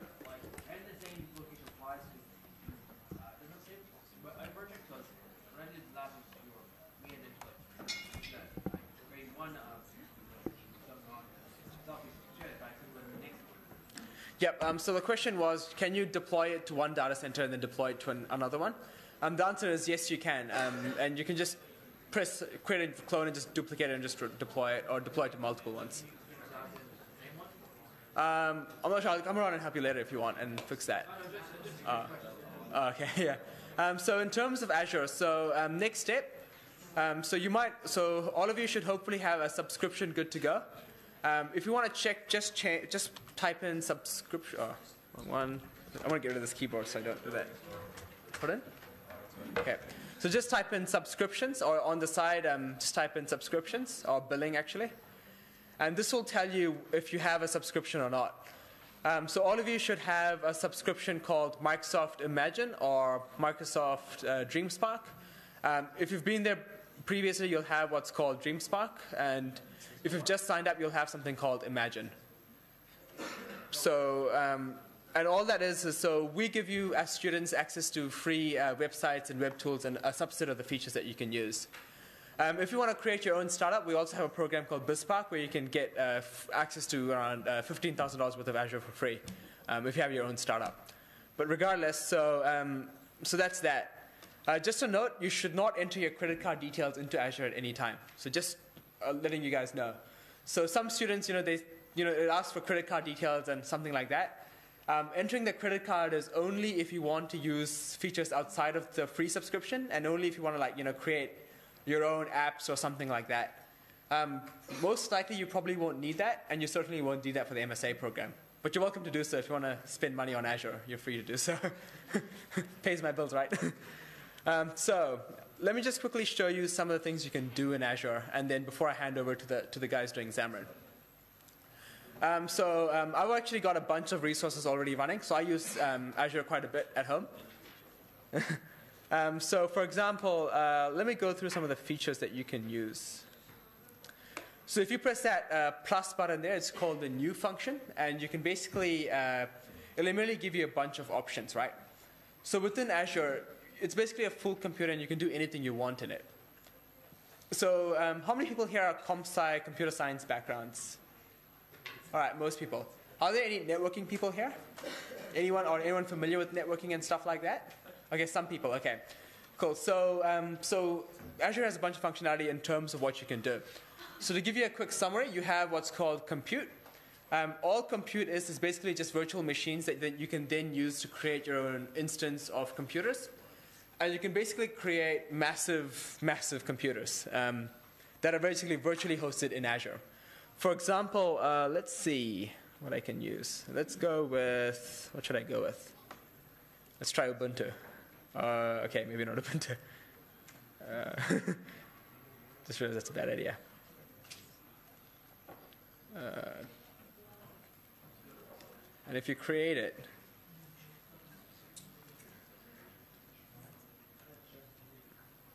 okay, so it asks you about for a bunch of stuff, but uh, oh, it doesn't go to the next page. Okay. On their one, yeah. Oh, yeah. Web app, yeah. Um, so, okay, I'm just, I'm just going to show them the. So, so you can create virtual machines if you um, pay for it, unfortunately. Um, you also have things like, uh, net, so in your subscriptions you've got limited things, but for example, if you go into a company and they need you to do networking stuff, you've got virtual networks ready to go as well, so you can create your own virtual networks. Um, we also have databases. So these are your standard SQL databases that you can create. So you might have used SQL Server at home or have your own little databases. You can also store them in Azure in various different forms. Uh, what we'll be using today is web apps. So this is the thing that we'll be using, a mobile app, um, which we'll cover later. So today we'll be just using the stuff, but um, there's a bunch of other things in here that you can use. Uh, another cool thing that we won't cover today, but we'll cover in future MSA workshops, is cognitive services. So in the morning, you might have seen a few videos about um, just Microsoft doing cool stuff with technology. Um, cognitive services lets you do that kind of stuff. So um, it's like a mini brain. And yeah, so um, just have a just have a look inside and have a nosy about all the various things that are available. Um, it's got a big subset of cool stuff that you can do, use. Uh, basically, anything that you need to do, Azure can do it for you. Um, basically, even blockchain, funnily enough. uh, you just don't uh, do dodgy stuff with that. so um, what I'll show you now is how to create a web app. Because I know that all of you, you know, it's, it's all fun to create a website, right? Um, so if you press new, go web plus mobile, and press create a web app. Is everyone following along? No? No? Okay. Where, where are you guys lost? Should I just start from the beginning? Yes, okay. All right, let me go back to. Should I do the full introduction again? All right, let's not do that. Okay, so I'll go back to the start and I'll go a bit slower. So this is the Microsoft Azure dashboard. Uh, this is your homepage. This is where you know all your resources come and where you can find all your stuff. Uh, as students, all you need to know for now is how to create a new instance. So to create a new instance, press new. Good? Once you've pressed new, um, you will have a bunch of options here. It's called a marketplace, and you'll have a few options here. Um, press web plus mobile. Everyone happy? Yes? I'm not seeing people nodding. Okay, that's good. I need some feedback so I know. okay, press web app. We're making a web app. Okay, so enter a name for your app. Don't copy my name because then I can't use it. So. oh, damn. Clearly, we've used this name before. um, just like type in, type in a name that's rememberable because you're going to go to this link later on. So I'm going to type in uh, JTest site. Okay, JTest site works. Um, make sure your subscription is DreamSpark and nothing else. Microsoft Imagine. Yep, that's fine. So um, DreamSpark and Microsoft Imagine are the same thing. Um, our branding people like to change names around a lot. So yeah, Imagine is fine. If you don't have that, just follow along and just kind of um, see how, how it is happening. Next thing, you'll have what's called a resource group. So um, in Azure, we're trying to be beginner friendly. So um, generally speaking, if you don't know something, there'll be a little information tick right next to it.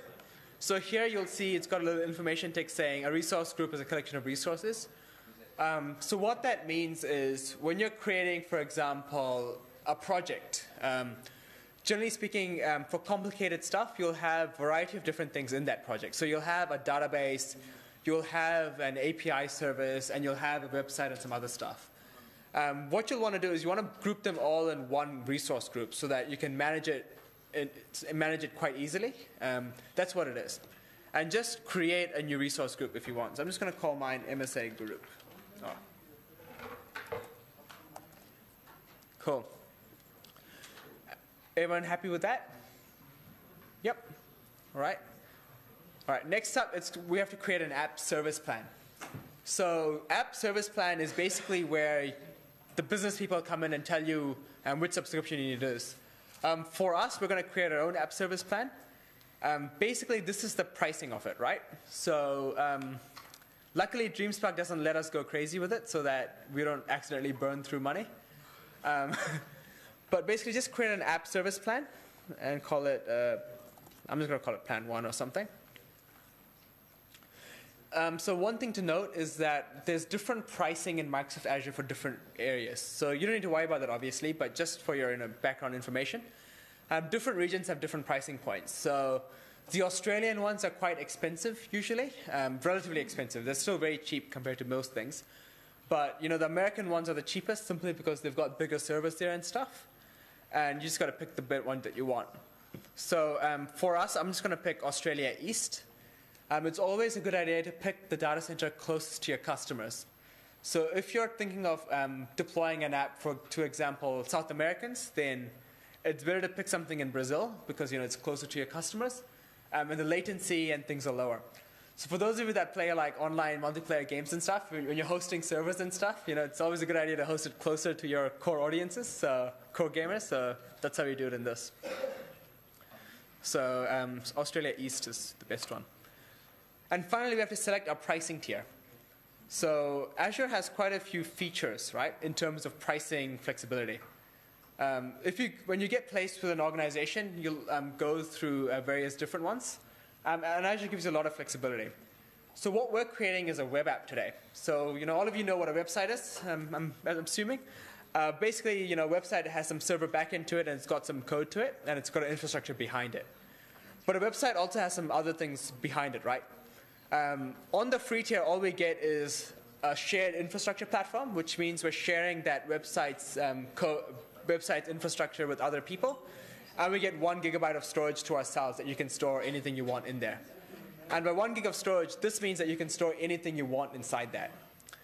However, if you go, when you get placed, you can also go for other things. For example, you can spend up to 1,300 a month, and you get a four-core server in Azure just for you with the website being backed up 50 times a day. just in case you feel like, just in case you like backing things up that often.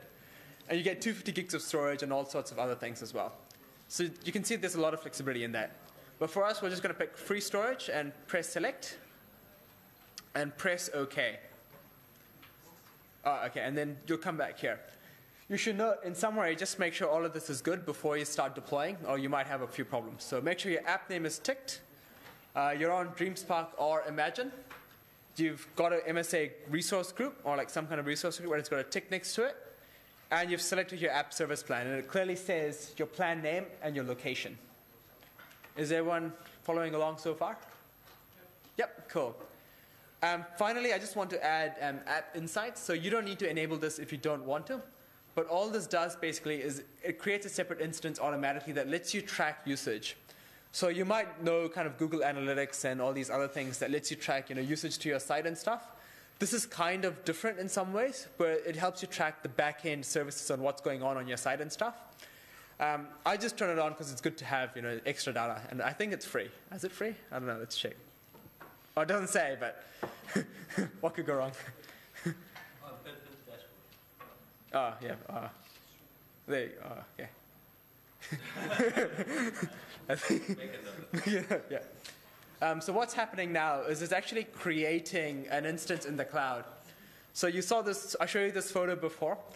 So somewhere in this data center, in one of these servers somewhere, um, Azure, these mini robots on Azure are going around and they're creating a little web instance for you. So you literally get like a little piece of Azure for that price that you paid, which is zero dollars. uh, um, has anyone else's failed? Has anyone succeeded? Oh, still going. Okay, mine's failed for some reason. okay, you succeeded. Okay. Uh,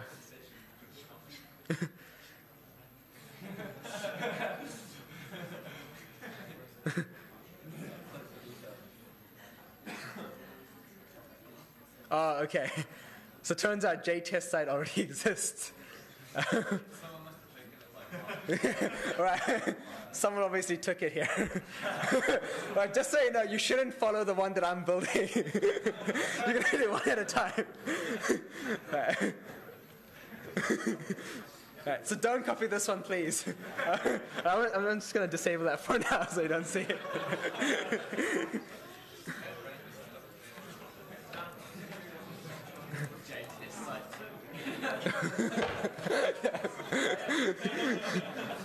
okay.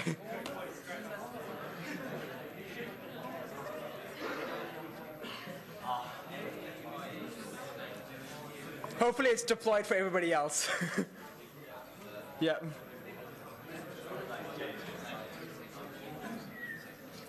Oh.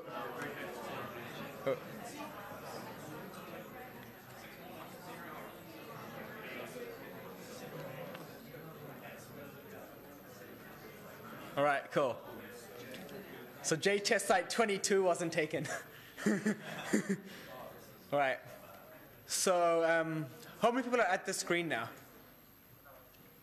Quite a few people? Okay, so if you want to get to this, so um, this is the screen that you want to get to. If you want to get to that, go back to your dashboard and just press Microsoft Azure on the far left side and it'll take you back to the dashboard. Um, once you're there, before we add, I just want to show you a very important feature. So if you press the background, it can change color. So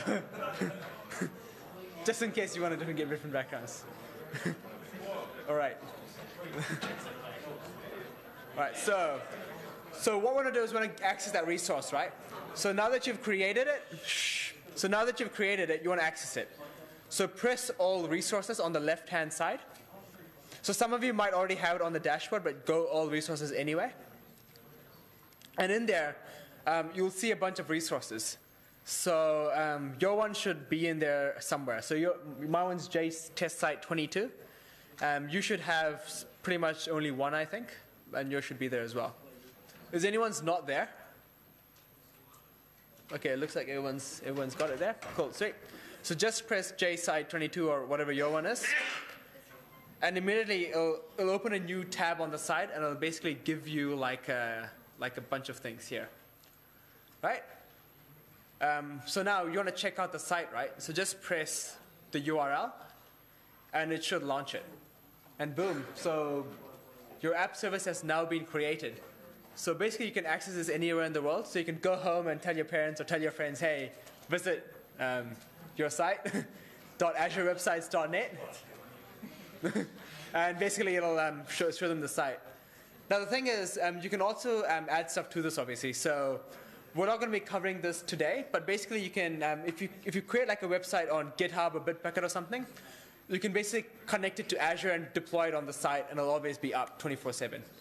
Um, yeah, there's some stuff in here. So you got things like um, you got various other things in here. But um, if anyone's interested in doing that stuff, I'll just quickly show you. Uh, it's called. Uh, where did it go? It's called. Uh, it's probably that one.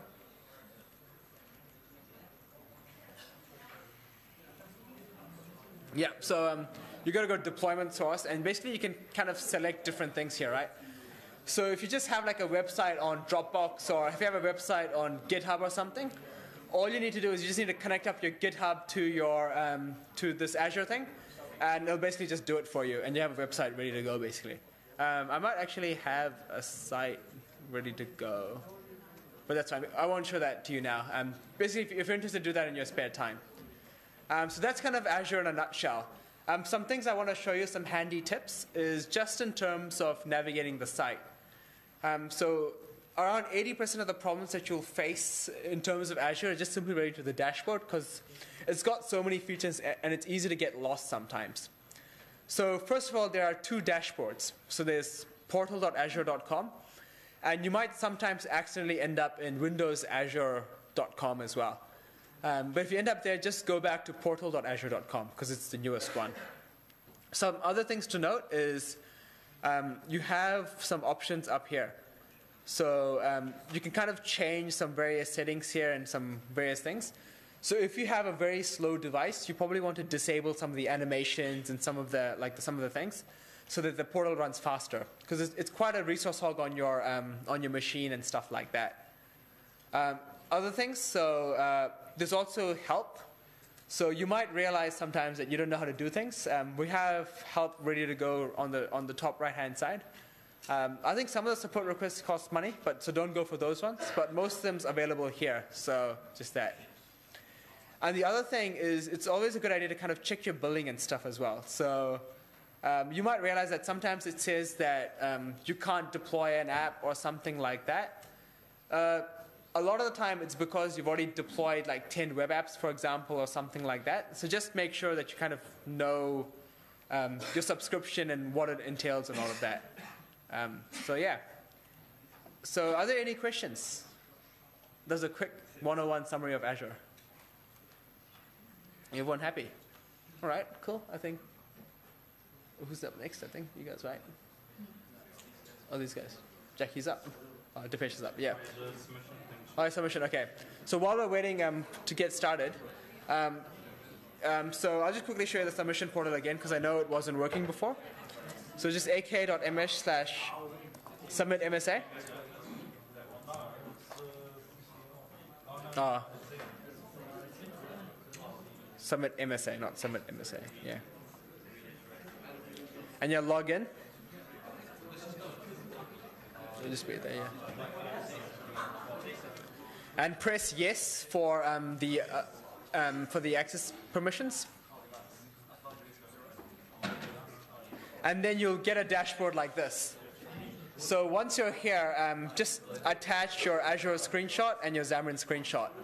Um, because you've logged in with your Microsoft account, we have the other details um, from you, so don't need to worry about that. So the question was, what do we screenshot? So uh, where is it gone? Oh, let me just. Oh. So what you need to screenshot is your Azure dashboard, sorry, on this screen, and the Xamarin app running, um, running Xamarin.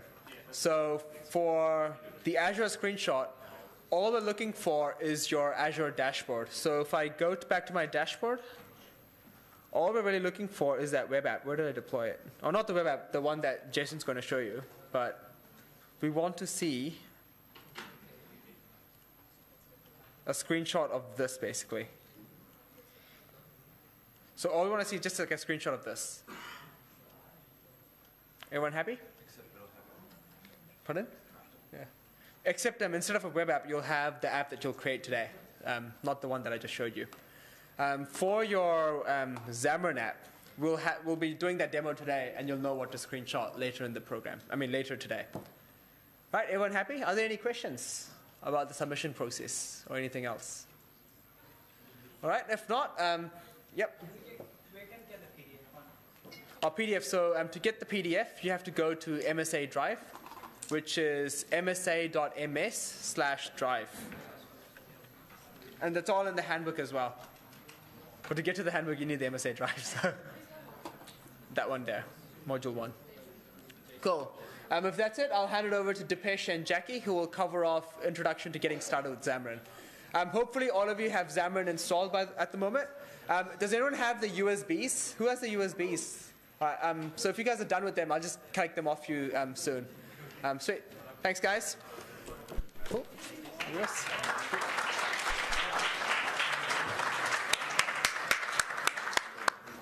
Sweet. So um, you guys just talk among yourself while we set up, and then I'll let you know when we're getting started.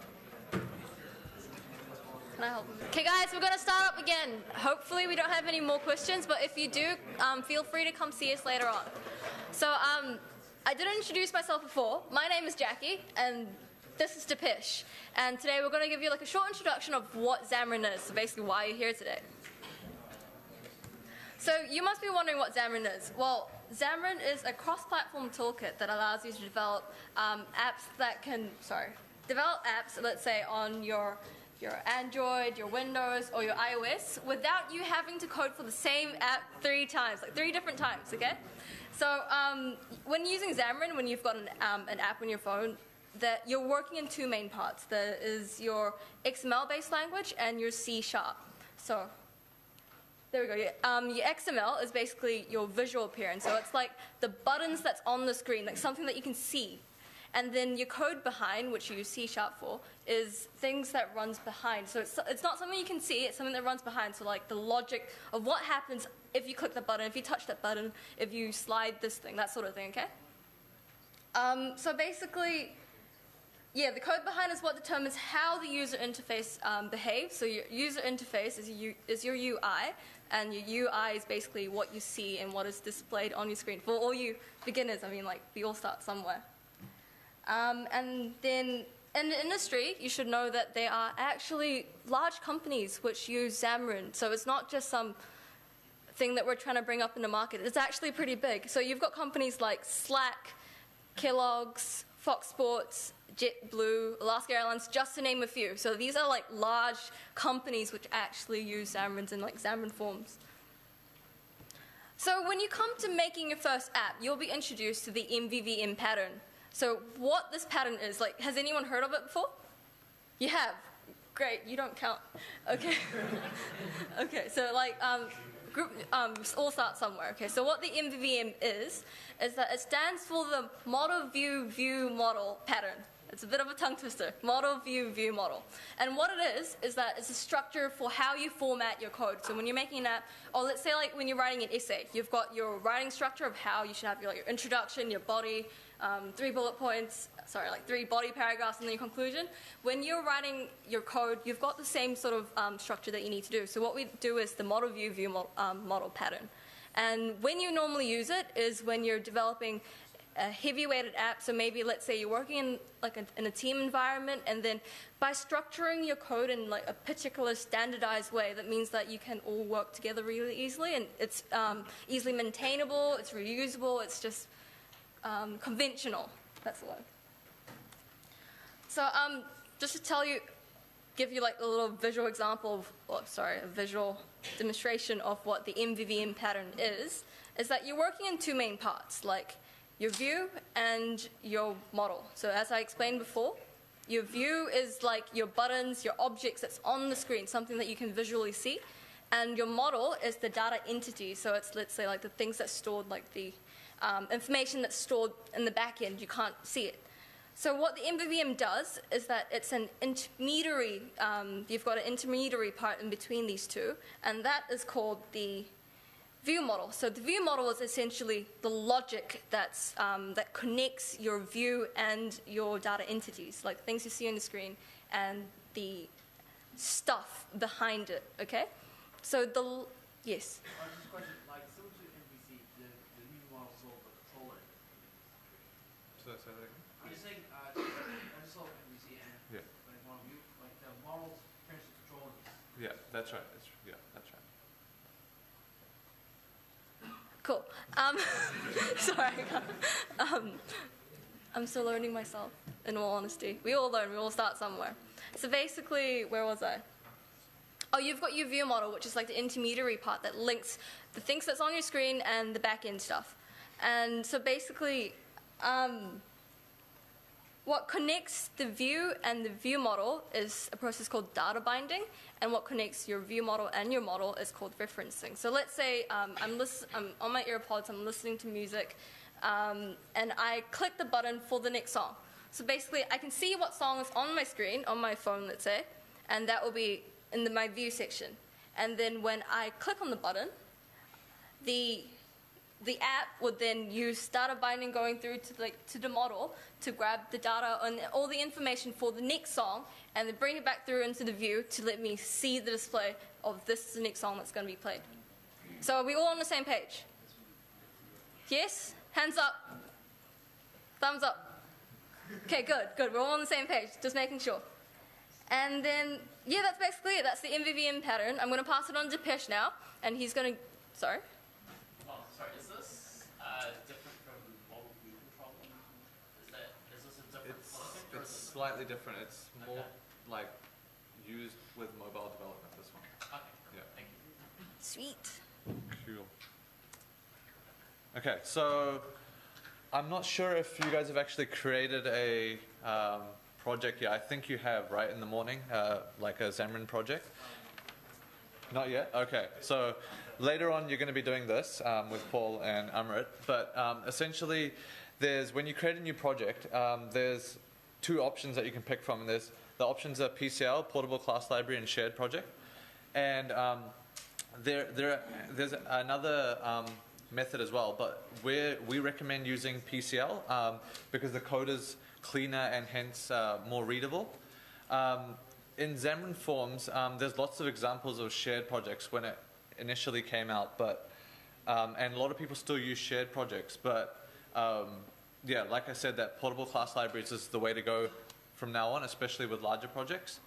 Um, yeah, the major difference is I'll, I'll go through in more detail, but the PCL uses something called a device class, whereas shared projects use this um, if, elif, and endif, which is which are compiler directives. Um, so this is quite a complex diagram. You don't really have to worry about it. Um, yeah, essentially, um, shared projects um, they have limited use, but they're used normally for backwards compatibility reasons. Um, you can create classes per usual, uh, similar to PCL. Um, but yeah, as I mentioned, these are compiler directives, which are like this hash if and all that, if you're uh, familiar with C++ or C or something.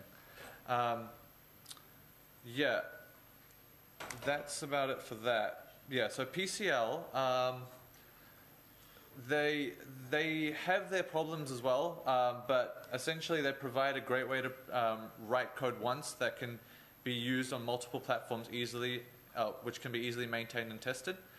Um, essentially, yeah, using PCL helps with easier unit testing, which some of you guys might like doing, and um, easily you can easily read the code and greater, greater portability, and you can have better implementations of your code. So this is what I was meaning by the compiler directives. On the right-hand side is the hashif, elif, and endif, and on the left is um, what PCL uses. Uh, you don't really have to worry about this, but essentially when you, say for instance, if you had to do some sort of padding on your app where you had to like, because I know with iOS apps, they have a different sort of padding at the top to Android.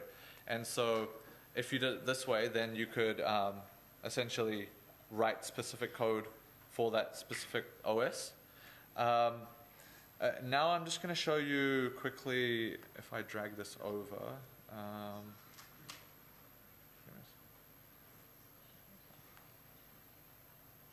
uh, let's see if this opens up here.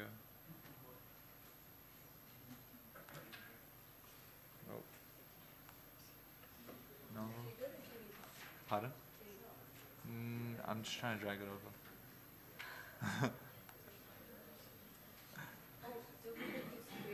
There we go. Okay, so uh, I've created a portable class library already. You're going to learn how to do this later. But essentially, um, if you, this is uh, the structure of your portable class library. And, and you see here, there's an Android project and an iOS project. And essentially, um, I'm going to just give a high level overview, but this is your XAML, which will have your welcome to Xamarin Forms, which is just a basic template. And um, the main point to go through here is when you create the project, which you don't have to write any of the code uh, that converts this XAML into your um, Android or iOS projects, but under references, you have your essentially your DLLs which do all this stuff for you. And the other main thing is if you were to click, um, right click on portable and then go to properties, um, under targets, you can see here that um, these are the different uh, things that essentially your application will yeah, target. So I've got iOS, Mac, and yeah, so on. And you can change these as well. So yeah, I think that's pretty much quite simple and there's not much to it. There's not much that you guys really have to do. You just have to make sure that you're using a PCL project when you're going to be making, uh, submitting for your um, assessment or whatever. And I think now Jason will go, oh, who was it? Yeah, Paul, and then we'll now go over how to actually get to this point. Cool. Thank you.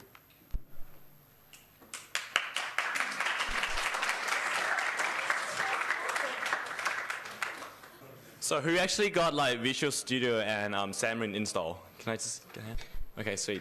Who's like it's been confused the whole day? yeah, me too.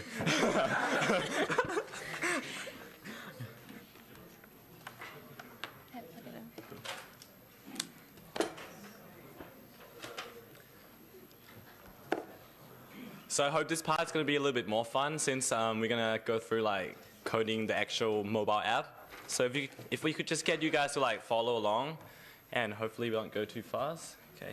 Oh, Awesome. so you want to introduce yourself? Hi, my name is Emret, and this is Paul, and we'll just show you how to make a simple app and then deploy it as well. Awesome. Um, so where is it? Cool. So, Yeah, it's not. It's not. It's not.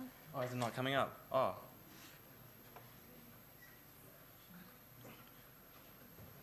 Where am I?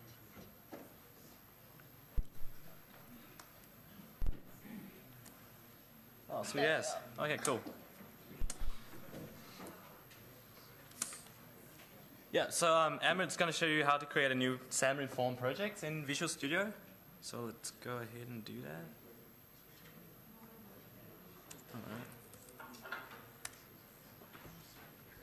So if you just um, open up Visual Studio, it should look like this. Wait, it's not coming up. for some reason. Hmm.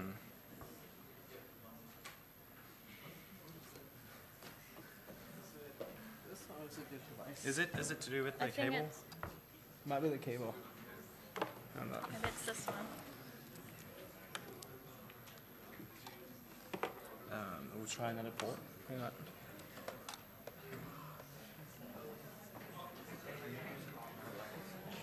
It's because we're using a Mac. Just give us a bit of time. I've got another adapter. Uh, wait up, wait up. Just replugged. Is this parallel? Yes. Or No, it's boot camp. Oh, boot camp. Oh, here we go. We got it. Yay! okay. Uh, Yeah, so I think it's. why is it not coming up? I tried this. Oh, right, right, right. It's not. It's not mirroring. It's um. It's, it's over there. One second. Here, here. No, just Okay. use this if that fails. Like again. Okay, should we try that then? Yeah. I'll just quickly set it up. Display.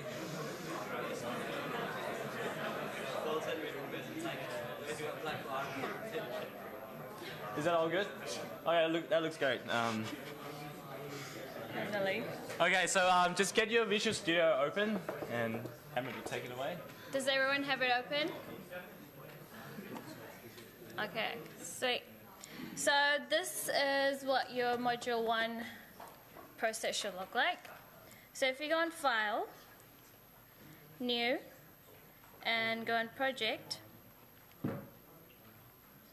and in Visual Studio C Sharp, um, we want to choose a cross-platform app.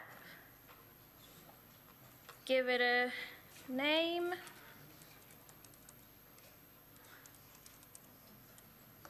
and awesome, just Jay. click OK. um, here, you want to click Xamarin.forms and portable class library. If that just and OK. Is everyone going good?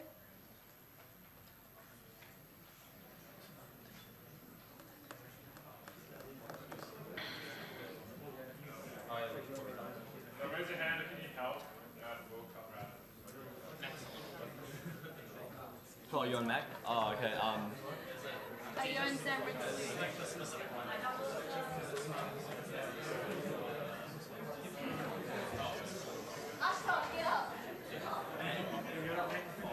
I can put it up if you want. Wait, should I oh, we can just pause it, I guess. So if you're using um, Mac and you're using um, Xamarin Studio, you should go about doing this. Um, you've installed it. So it's on GitHub. It's on GitHub, so you can find it later. Um, so here, new solution, right here.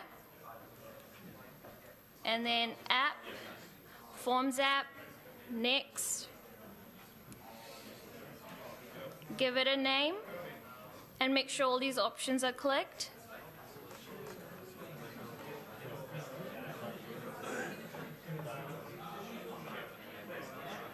Does anyone need help? I'll come.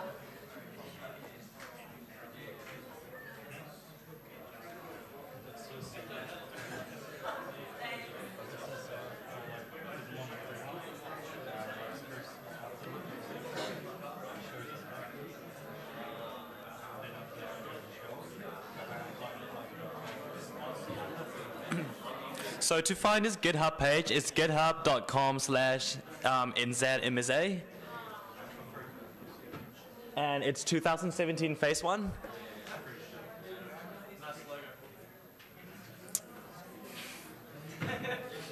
This is a AUCS account.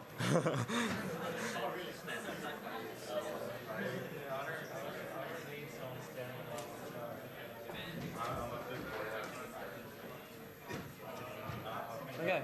Is everyone up to speed? Can you go down? Oh. No, no, no. As in like. Yeah, so um, for the Xamarin Studio, just click, all these options should be clicked except the use git in and automated, and then you just need to click create. Is everyone up to it? Who needs help? Be brave. Okay, cool. Sweet. Um, yeah. Show the page. So just cross all of these out. You don't need those. Oh, sh- Let's do that. um, so if you look here, is everyone looking? Um, in the drop-down menu, just choose 23 by 86 phone. That's the emulator that we'll be using right now. You want me to go through it? Ah, yeah, sure. Yeah, configuring. Um, so configuring the emulator, just click on this little phone icon. And you should have this open. This is only for um, Windows, not for Xamarin Studio. And then just click 23 by 86 phone, edit.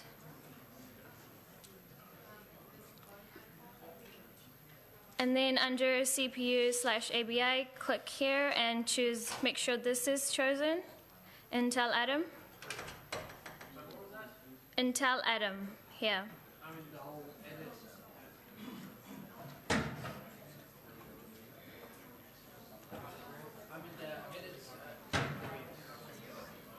So click here, 23 by 86 phone. So you- just ch- tell them to click on that little button. It's called This little icon. Open Android Emulator Manager.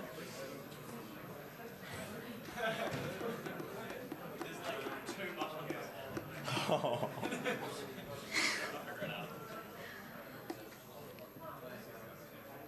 So make sure you have the Intel Atom and then click Edit AVD. And that should that make it like 10 times faster. And that should make it faster, hopefully.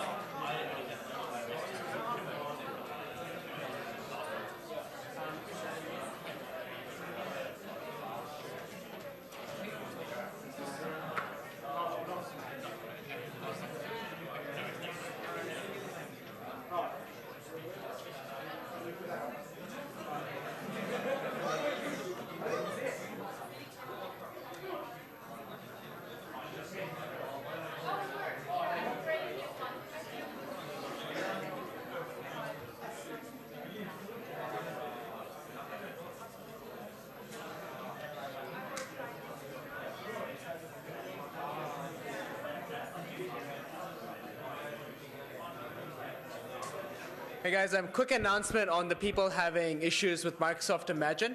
Um, so if you can't, like, if you, if you use Jack some other account and says your Imagine subscription isn't available, um, simply create, using incognito mode or something, create a new Microsoft account and try it through that, and use one of these um, Imagine codes to verify it. So go through that method and create something new. Oh, okay, cool. Nice. Yep, sweet.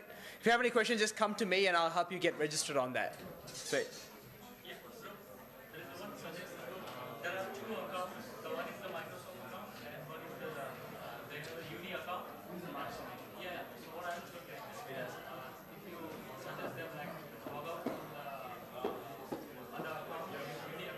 Ash, are you free? Do you wanna, do you wanna help me? That's cool. So just to quickly show that again, um, we go to Open Android Emulator Manager.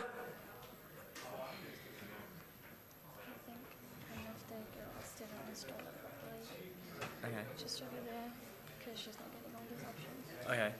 Um, s if you're like missing options or like you weren't manu- uh, you weren't able to get that to work at all, just follow along for now, because we probably have to move on. And yeah. All this is on GitHub, so you'll be able to find it. Okay, should we show that um, Android SDK manager as well? Just quickly, yeah. So if you see here, if you can see where I'm pointing, um, click it and go yes. This is for those who has like. If you want to plug in your Android phones um, and deploy your app on your phone, you need to have this option. Google USB drive. Google USB Drive. It should be installed, but um, if you don't want to don't want to use your phones, then it's just fine. Yeah. So here you have like a simple app that you've just built, and we'll just deploy it by doing Control F5. Control F5. Just press Control F5. Or you can also press that little green button at the very top as well. Just make sure it's pointed to um, x86 phone.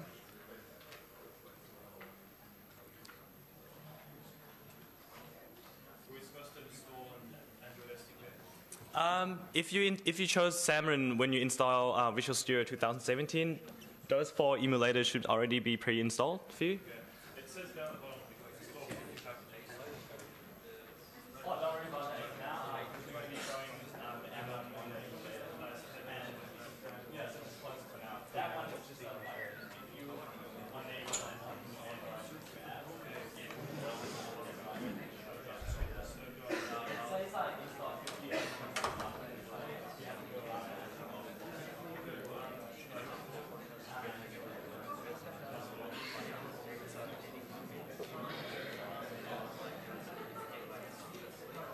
So, here you go. Okay, sure. Um, here's a simple mobile emulator. And if you go here, you can see all these apps that are pre- previously there. And the app that you just made should show up soon. Oh, here it is. Awesome J. Currently, it's not doing much because we haven't told it to do anything yet. It just says welcome to Xamarin Forms. Um, Paul will take you through making a button in your app. Um, so, yeah. Awesome. Is he okay? Does he need more help? Huh? Is he okay? Um, if you can help him, because like his problem is quite it's a bit obvious. What happened? It's to do with like missing Android SDK. Would you be able to help him? I can go check it out. Okay, um, can I get a show of hand who actually got to this part? Okay, um, number of you? Okay, cool. Um, all right, so for those who didn't quite get anything to work, just follow along for now. Um, for those who, are, who got their project up and running, and did you guys get like the um, emulator to work? If not, like, don't worry, just follow along for now. Um, yeah.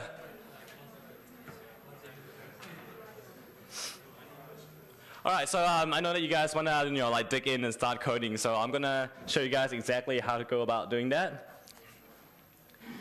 So i on the right, you have the Solution Explorer, and here you have the main, the main page.xaml. So if you can double click on that, that should open up the main page of our app. As you can see, I'm just gonna zoom in a little bit here. Okay, so on our main page.xaml, we have a label that says welcome to Xamarin Form. And yeah, you can see that. This is our main page and it's got the same thing there, which is our label. So let's go ahead and honor um, Awesome J app by changing that to created by Awesome J. And I'm going to relaunch the app just to see um, the differences. So Control F5, and that should relaunch our app in the emulator.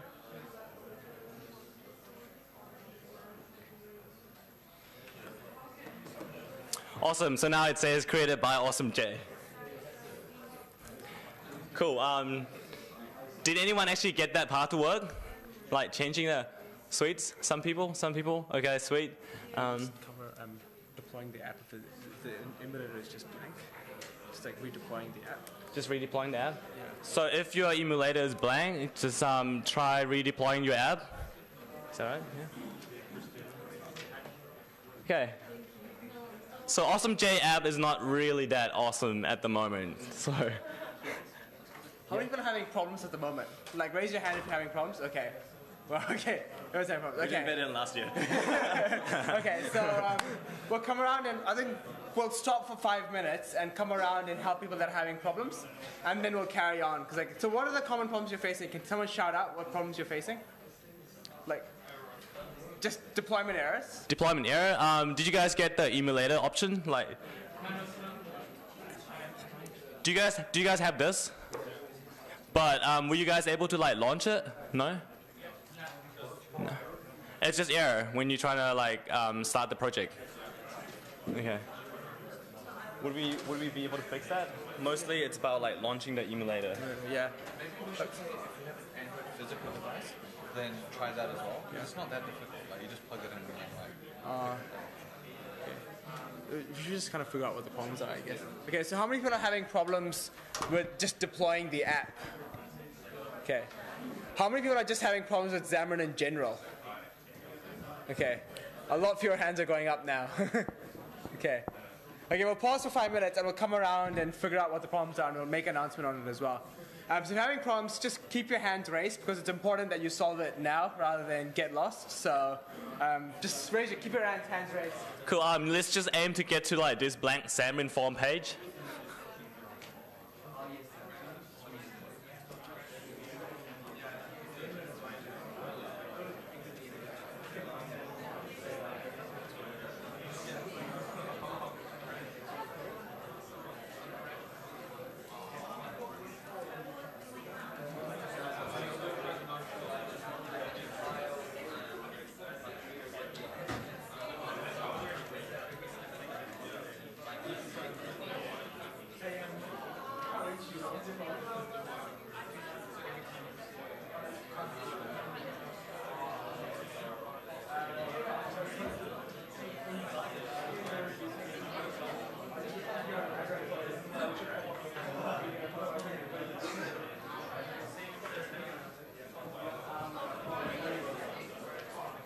Um, so if you have your emulator problems and you're running a Windows device with an Android phone, um, you can deploy it to your Android device as well.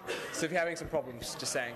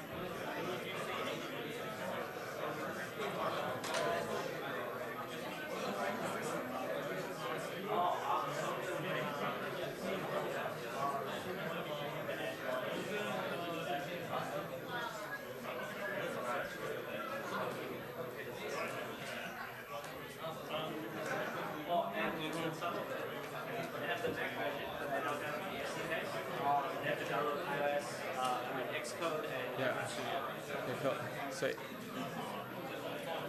Um, so who's still having problems? Okay, a few people at the back. Okay.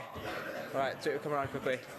Um, so who still has the USB sticks on them? Just quick hand of so I know. Okay, one person. Who's the other person? Okay, cool. Thanks.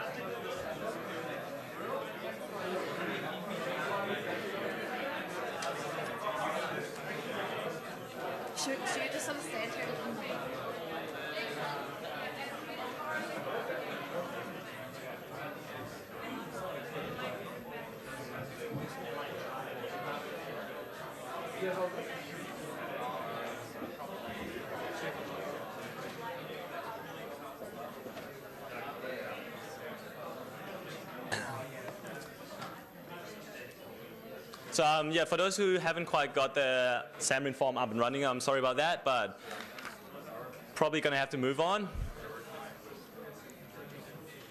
Cool. Um, so just try to follow along. Um,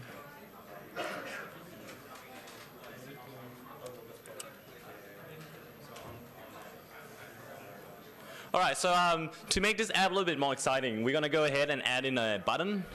So before we can do that, we actually need a tag that call stack layout. So if you go, um, yeah, I'm gonna do that again actually. So for those who doesn't come, uh, doesn't have like programming background, to write a tag, you just simply go um, open angle bracket and then start typing. So we want to we want to put in stack layout, and um, Visual Studio does give you like an auto completion, so you can actually just press enter. And don't forget the closing ang angular bracket. And essentially what this stack layout tag does is that, is that it allows us to easily arrange all the components on the page. So we want to place all our components within between these opening stack layout tag and the closing. What I'm going to do is I'm going to move this down to the bottom so that our label component is within these tag. Uh, just gonna Oops. It's hard to do it without a mouse. okay, that looks much better.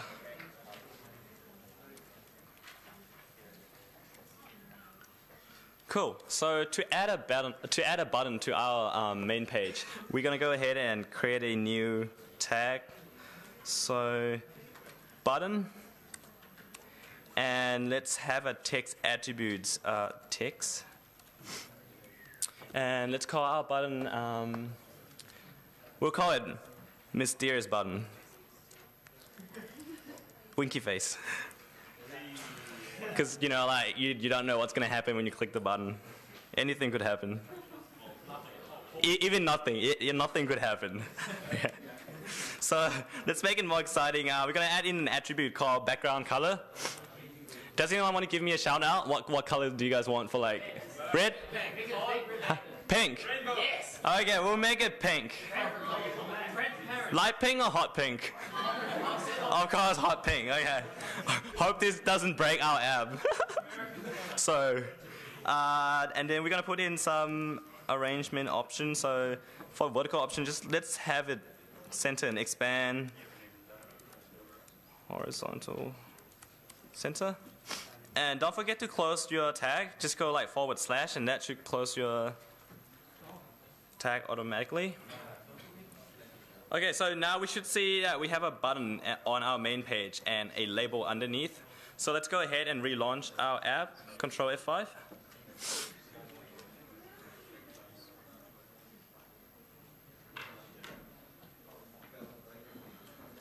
Just give it some time.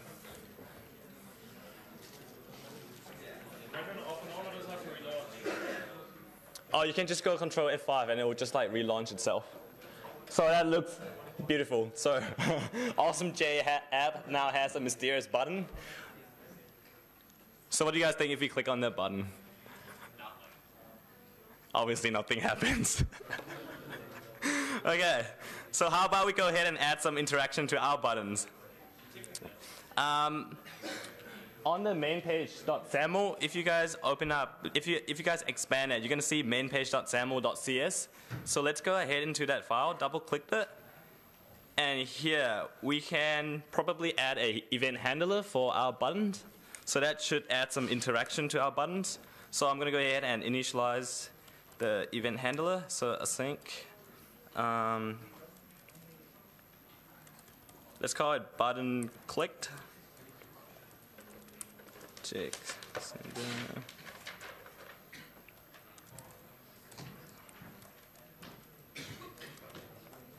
I know this is looking quite intimidating um, for some of you, but oh, okay. Um, don't forget the return type. Since we're not gonna return anything, so let's have it uh, void.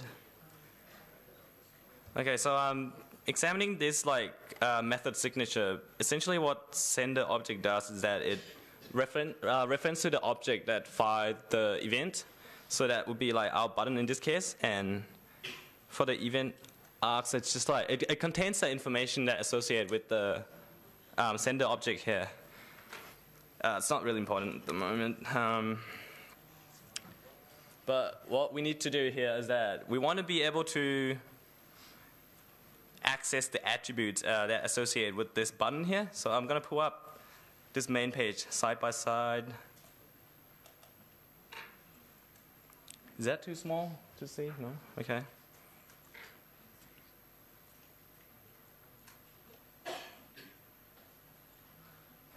Okay, so we've got an event handler um, method over here, and this is our interface. Let's go ahead and create a um, button within our method. So button type, we call it button object equal, and we're going to cast our sender object as um, button type. Okay, so what this line of code allows to do that is um, now we can access the attributes that link with our button over here. So if I go button dot text, now I can change the text to um, let's say when the user click that button, it's gonna change to you clicked me. Okay. Cool. Did everyone kind of understood that? I, I hope. Pardon? The screenshot? All right. Um, so you know how you change the text for your uh, main page? That's basically the module one submission. So yeah, we've gone a little bit further. So you just have to screenshot your emulator Yeah. with your name on it. Oh, feel free to like do more stuff, but yeah, this is just like an intro so that huh? Yo. Sorry, can you just scroll across? Uh, on my code, I'm receiving uh, an error with the being arg. Uh, okay. Okay, sweet. So um so now that like you guys can kind of see that once the user clicked that mysterious button, it's probably gonna change the text on the button to you clicked me. But how about we go ahead and add some more stuff? Let's go ahead and add um, display alert. So await, and we're gonna call a function called display alert. And essentially what it does is that it's gonna um, raise that dialog box when you click the button. So this function actually takes in three different um, parameters. First one, like being the title. Can you guys see? I'll zoom in a little bit.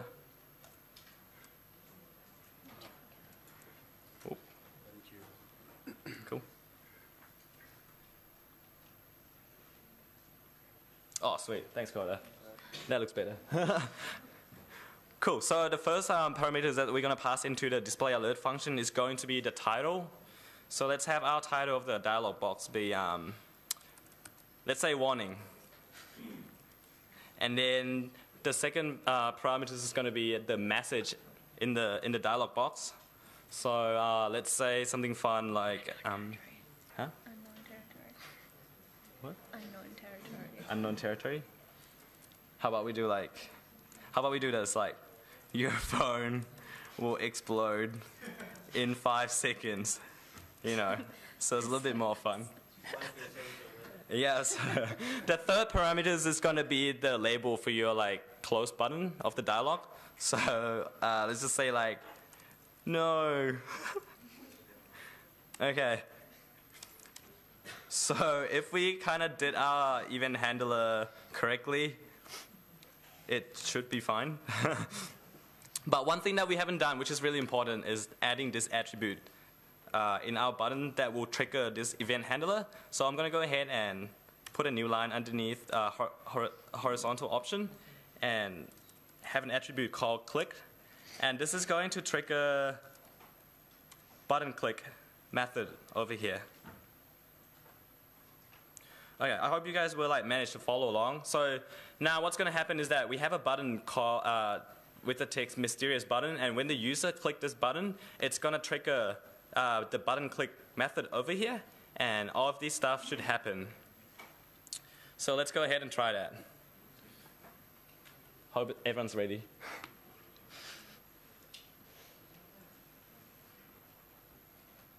Okay, cool. So we still have our button and our label, and our app still hasn't crashed. So I think everyone's uh, everything's gonna work. Are you guys ready? okay, let's go. Let's go ahead and click this button. Okay, so as you guys can see, it popped up the dialog box that we wrote here in the event handler. It even have the button that says no. so let's try that again.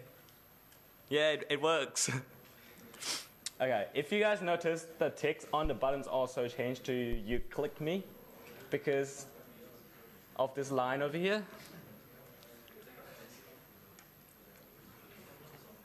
Yeah, awesome. So that should give you like a basic introduction to um, Xamarin App. Yeah, hope you guys had fun. Did everyone kind of like who who managed to like follow along and like got something working? Okay, some of you. Okay, sweet. yeah. Well, thank you very much, guys, for listening to me and Amrit. Um, good luck for the rest of the program. If you still have problems, just put your hands up, and the MSP team will come and help you. Sweet. Thanks, guys.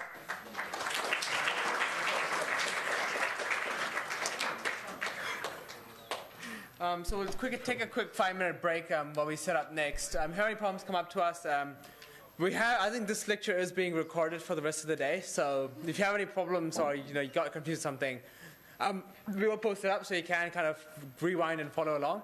And we'll try and put up tutorials on the GitHub as well so that you can follow up. But it was. Did everyone kind of get that, and everyone kind of follow along? Mostly. Everyone happy with it? Who found it fun? oh, awesome. Fun or confusing? For, for how many people was that the first time you ever deployed a mobile application? Oh, nice, awesome, fantastic. Well, you've done the hard part now, so it's just building it up. That's um, that's all you need to do now. So cool. So next up is Jason. So we'll start that at, in five minutes, basically. I think we will uh, get started. So does everyone have um, Azure activated? Because we will be using it in the next part. So we need Azure activated and we need uh, Xamarin installed and running. Has everyone got that? Yeah, cool. All right, so the first thing we're going to do is we're going to go into Azure. We're going to create a new mobile application. From there, we're going to enable, um, we're going to set up a Node.js backend for that um, mobile app instance. And then we're going to create a to-do table. And then we're going to download like a sample template from Azure, which has every, like all the connections that we need in order to talk to Azure, insert data, update records, whatever. And then from there, we will um, have a look to see exactly how, how that's happening inside the Xamarin application. And then we'll go ahead and enable Swagger inside our mobile application so that we can have a look um, at the data and like manipulate and see exactly how we can do all that. All right, so the first thing we're going to do is we're just going to open up our browser and go straight to portal.azure.com. Log in. I've already logged in. Um, is, is, everyone, is everyone logged in? I'll give everyone some time to log in. Who hasn't logged in? Who's not like who doesn't have the screen? Just just one. All right. Well, we'll continue. So what the first thing you need to do is you need to click this plus button at the top there. Maybe a little bit slow. Uh, then you want to go down to Web Plus Mobile. If you click on it, you should see Mobile App. It should be grayed out. Don't worry, you can still click on it. If you just click on it, um, you'll get this little pop-up. You can still create an instance of a mobile application. I don't know why it's grayed out, but it is for some reason. It's always been grayed out. Um, yeah, like the first time, like I, I created, like because we we did this like last year as well, and like mobile app was like grayed out. I'm like, all right, well we'll go and create a web app, and then someone's like, no, no, no, you can still do it. I'm like, no, you can't. But it turns out you can. all right, so I'm just going to smash my keys because I don't really care about that. all right, I'll be surprised if that was taken. I'm going to create a new uh, resource group. XAM, I'm just going to leave everything the way it is. Pin to desktop, dashboard, dashboard. Yeah, it's pretty handy. Uh, and then create when you're done. So yeah, that's all I've done.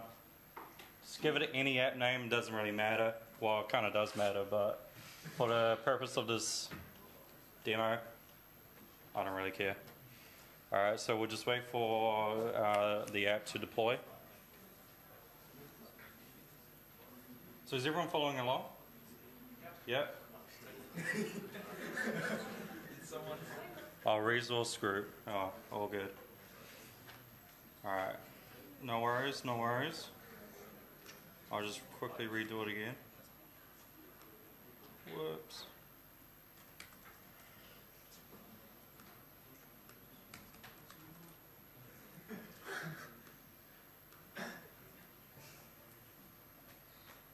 Hopefully it worked this time.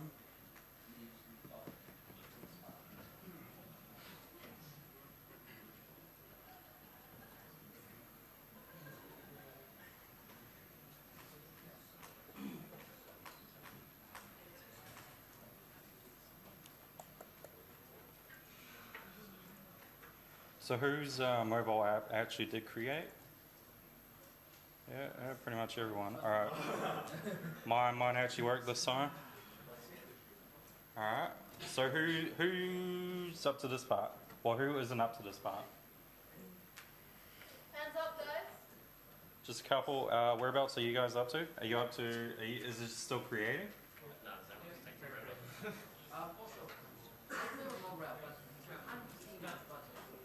What?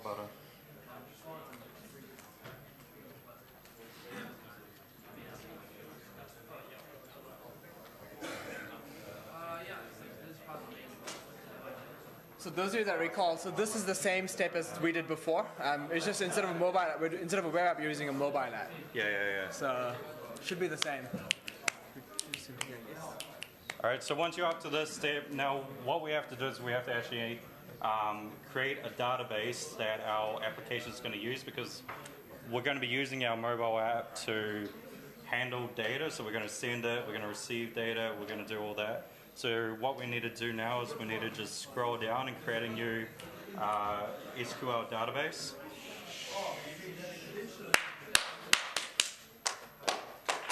All right. So if you just scroll down to the bottom here, you got data connections. It's right underneath mobile. You got easy tables, easy APIs, and mobile con- uh, data connections. So if you click on that, um, you shouldn't have anything here. It should just say no data connections. So if you click the add button at the top here, you're going to be taken to this screen. You know, configure required settings. Uh, this here should pop up. I'm just going to give it anything. It doesn't really matter. Uh, target. You just have to step these and just like do one after the other. It's pretty straightforward. So uh, set up a server as well. Uh, we need to give it a login username and a password.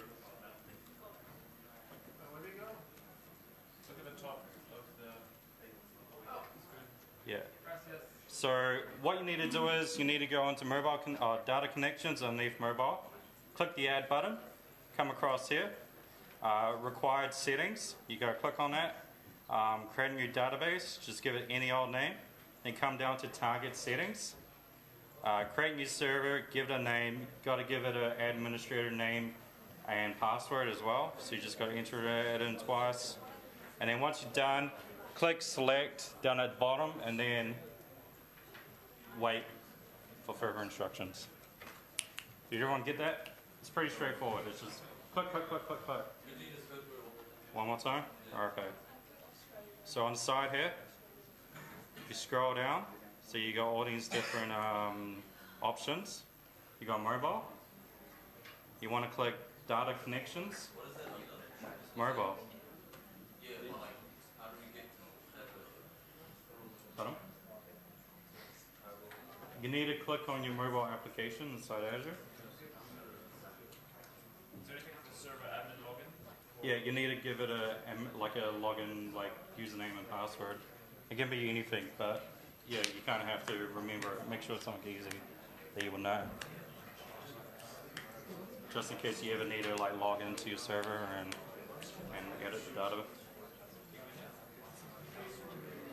Alright, so yeah, click plus button at the top.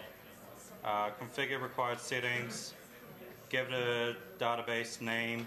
Target server, create a new server. Give it any old server name. Uh, give it a server admin login. So, you know, admin, whatever, doesn't matter, whatever, whatever username you want to give it. Then you have to give it a password. You have to confirm it. And once you're done, click select. And then it should get, uh, all this here should all be like, it should fill out for you. So you just click select again. And then click on that. Yeah, that's all good. Okay. Then when you're done, all you do is click OK. And then Azure will go ahead and um, create that database for you. So you click OK. There we go. And then we'll just leave. This takes some time. So we'll just, we just leave it for a bit. Just wait for it to, to finish because we can't progress until this is finished. So might as well wait.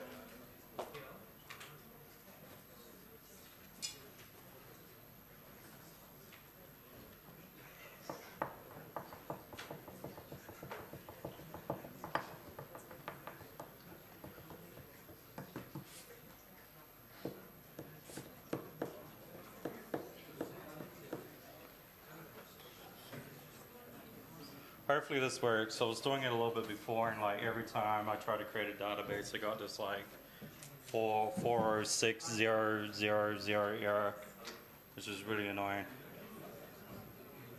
So hopefully we don't get any errors.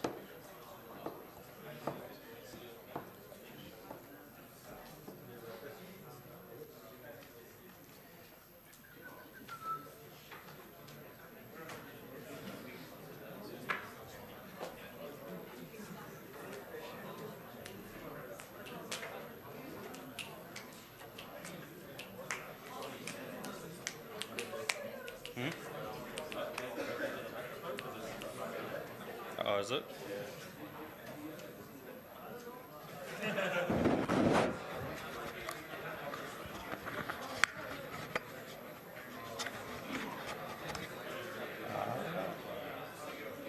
Hello, hello, hello. Flip it to my bed.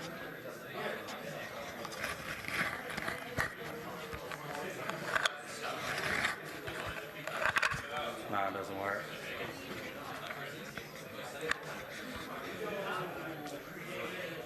All right, it created uh, my database for me. Uh, who's still waiting for their database to create? Yeah, a couple. All right, so we'll just we'll just wait until that's done. May take some time. If you get an error, just do this like process again. And if you still get an error, then no, no, no. Delete the resource and then create the mobile application and again and do the whole thing from scratch.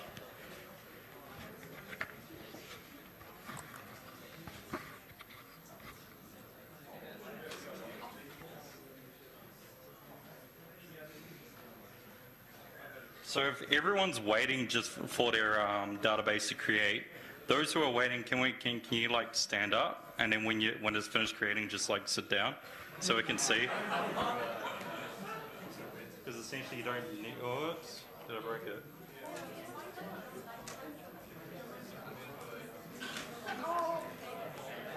Oh no. You could say, like,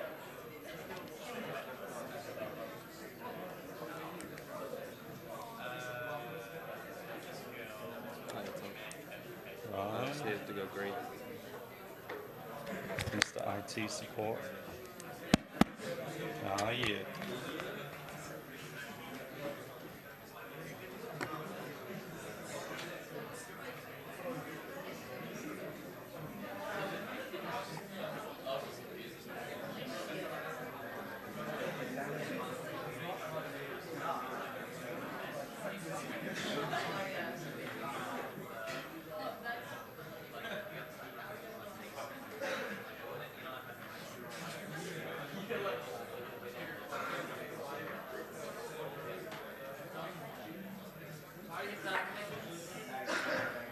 yeah, yeah. It's done for me, but we have to wait for everyone else so we can continue.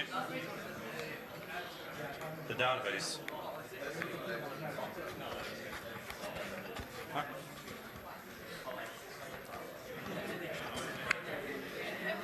So far here. Very good. Uh, you need to create the database. Have you already done that? Yeah, that is a document. Nah, nah, nah. Oh, yeah, it is. It is. Uh, alright. Alright. So if we. Documents. Yeah. That's better than that.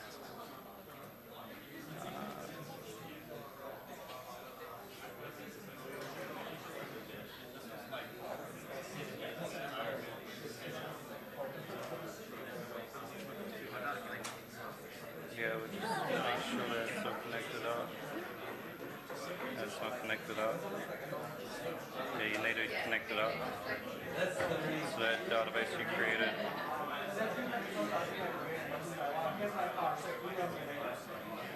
Um,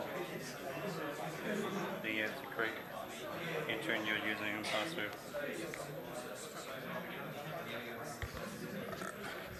All right, so who's still waiting for their database to create? Couple, okay. Okay. Uh, so who actually has their database created?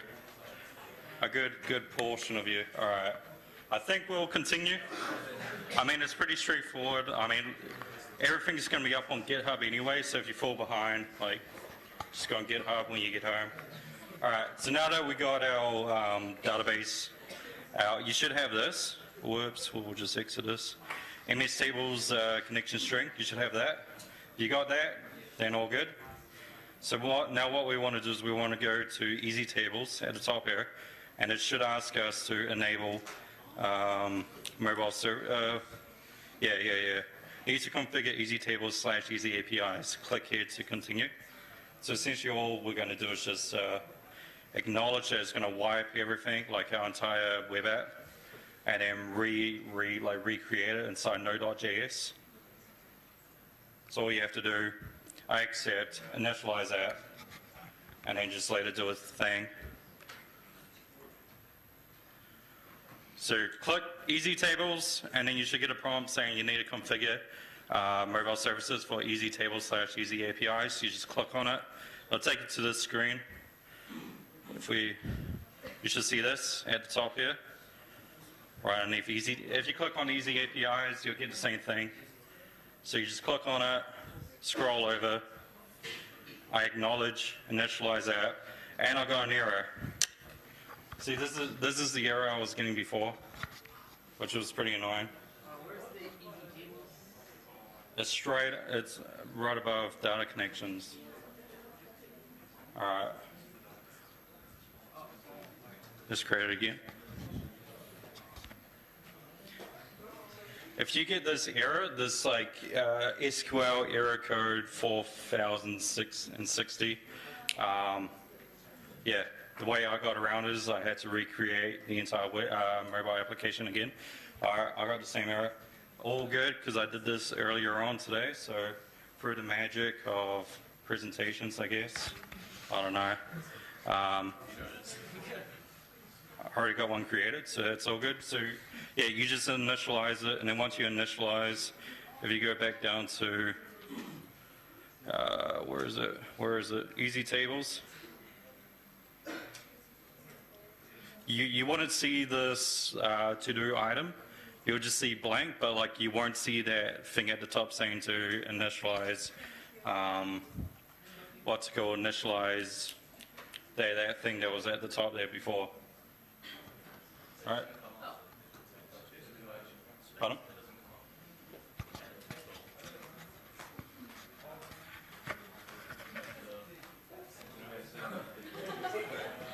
Oh, no, no, no. To do want to come up.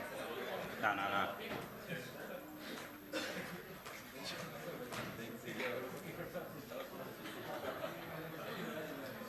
So if you see something like this that says no results, but you got an add button at the top and you don't have that prompt telling you to initialize anything, then you're all good.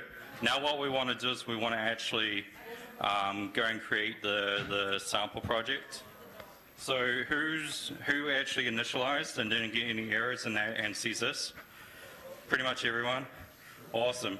All right. So what we want to do is now we just want to go up to the top here, uh, underneath Quick Starts, and then you should see you should get a list: um, iOS, Objective C, Swift, Android, uh, Windows, C Sharp, uh, Xamarin as well, and Cordova.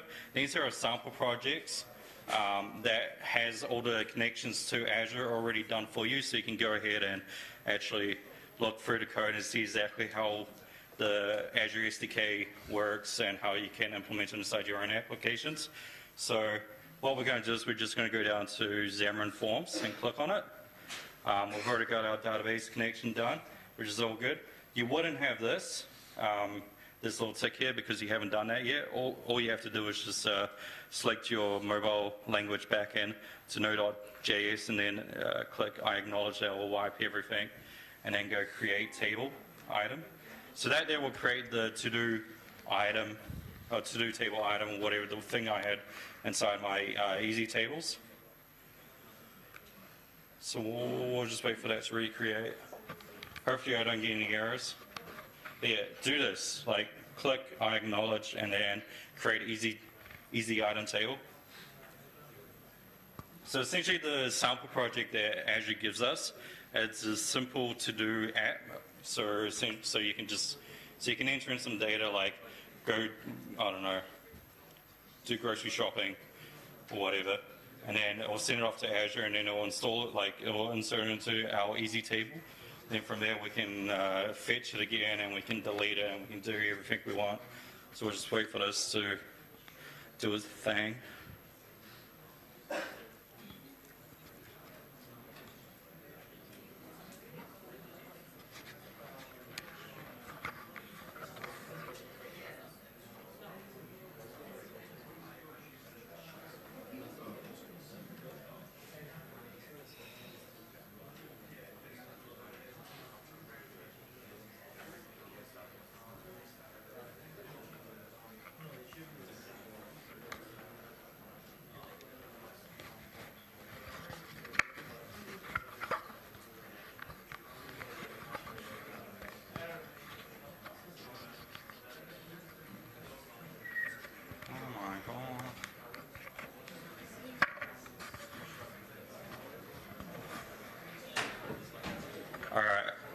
So once it's finished, it should give you this app servers, app backend, initialize.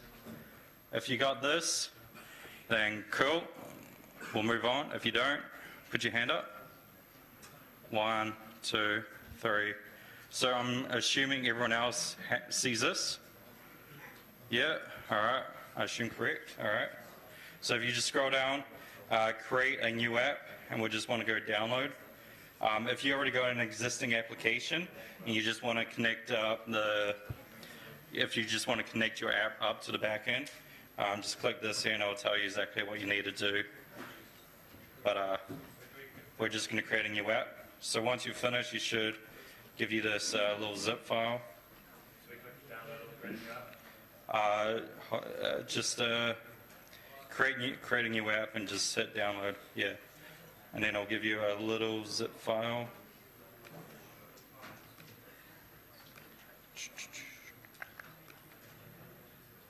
Download.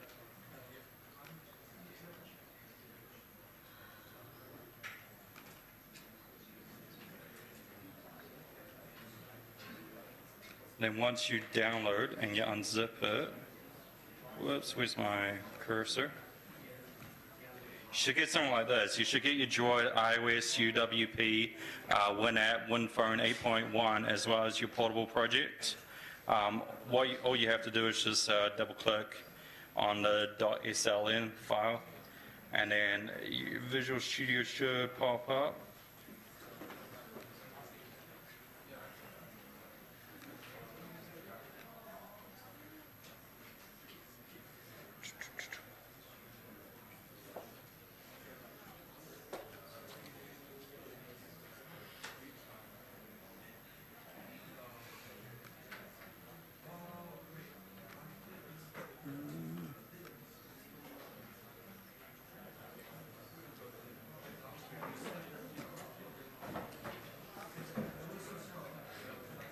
Okay, so if you open up inside um, Visual Studio, you should get a couple prompts.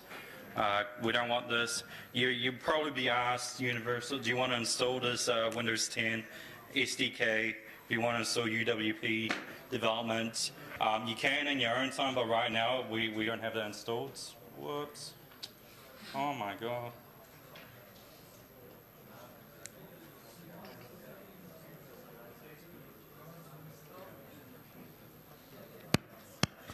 Okay, yeah, so when you get home, you can install it yourself, but we're not, so we're just going to click skip for now. Oh, and then you'll get this pop-up saying uh, migration error because we don't have the SDK for UWP installed. We've got two errors here, which is fine because we're not worried about uh, Windows 8.1 or UWP. Um, so that's all good. So we go back to Visual Studio. Uh, we should get this blank project. All right. So now we'll just wait for everyone to catch up. Who's who, who's up to this step? Oh, nice one.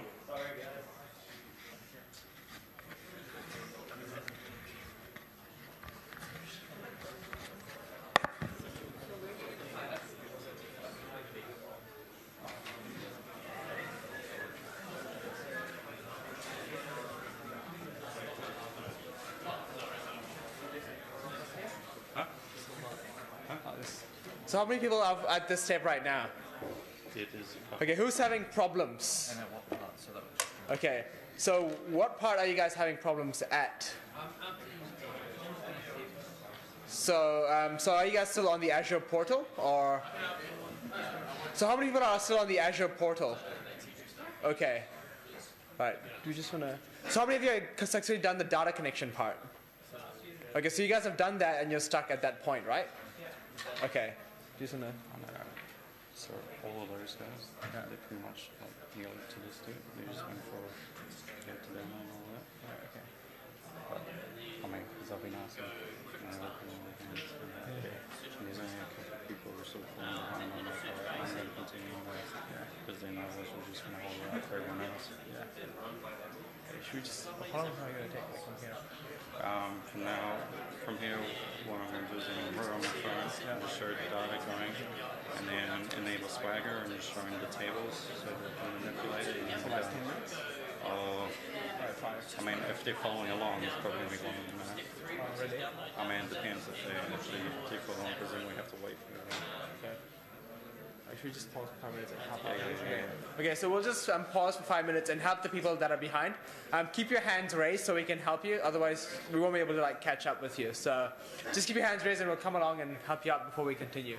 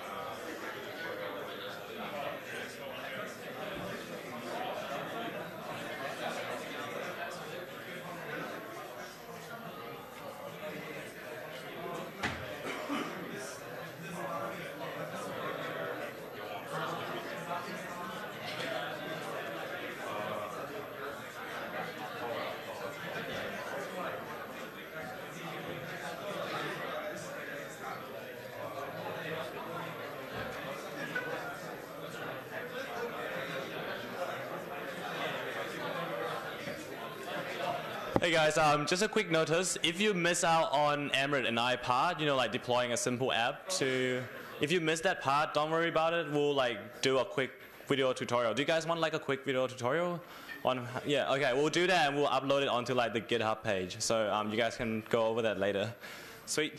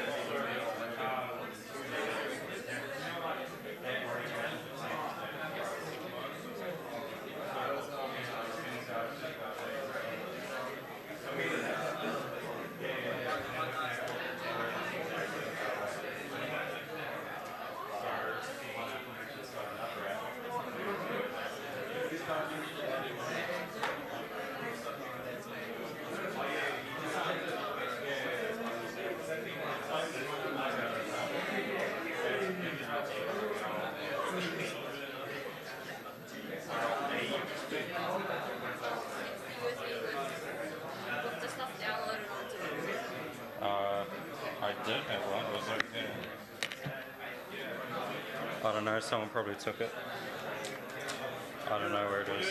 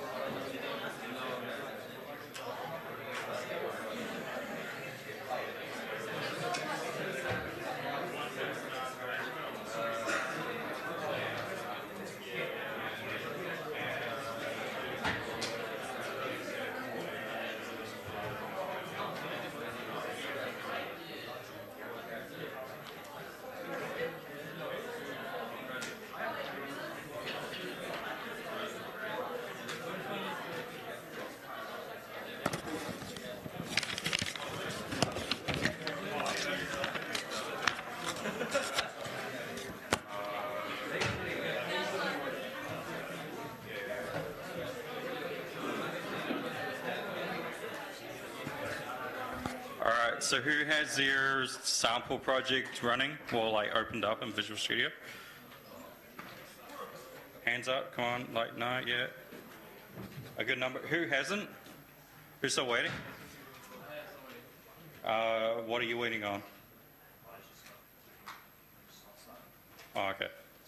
Okay. All right. So we'll, we'll, we'll go ahead and continue.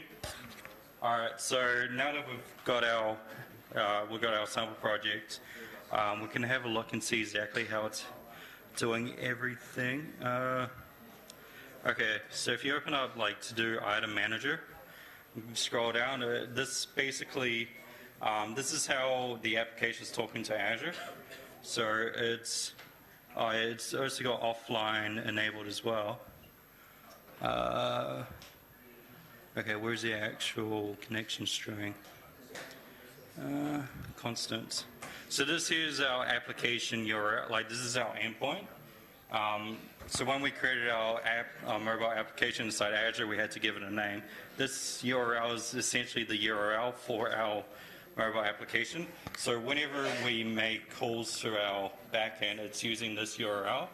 Um, I'll show the actual data connection, like the actual URL path that it's making inside Swagger once we have enabled that.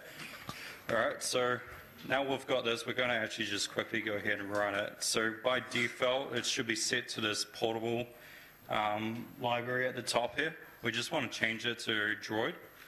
Well, Droid for me because I've got an Android phone. So I'm going to go ahead and connect it up.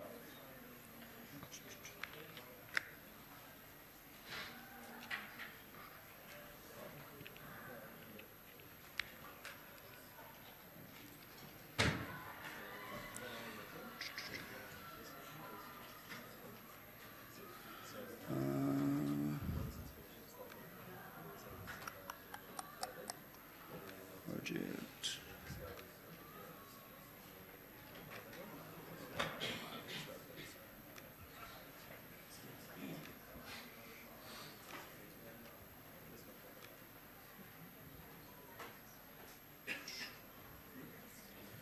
That's a little bit better. So I'll go ahead and run it on my phone.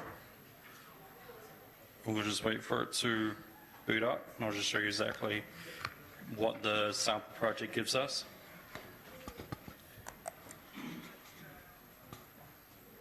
This may take some time, hopefully not too long.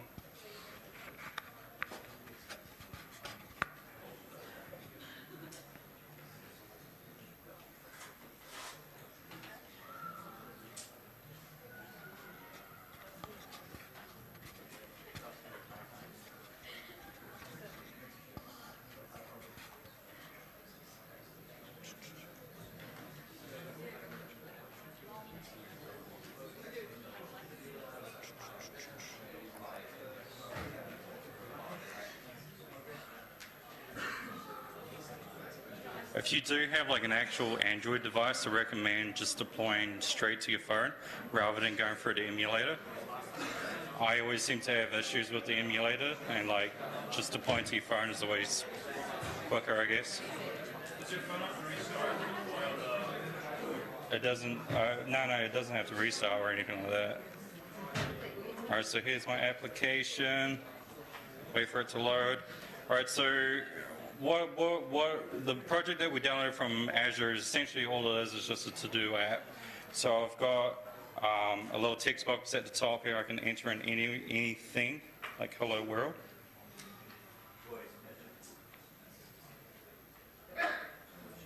And then click Add.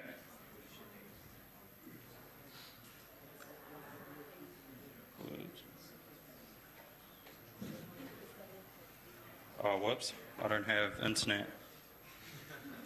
Hold up. Yeah. So it looks like the sample project doesn't have any like handling if uh, there's no network connection, which is kind of bad. But it's fine for us. All right, turn on hotspot.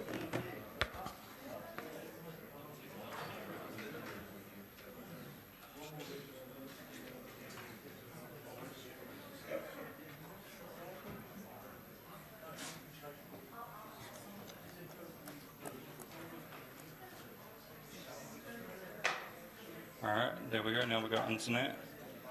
Just go ahead and run it again.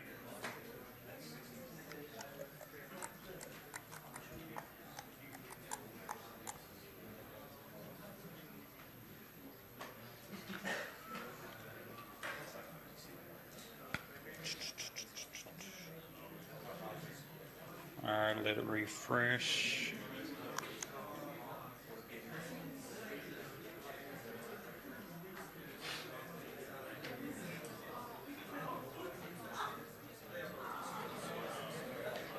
Hello world, add.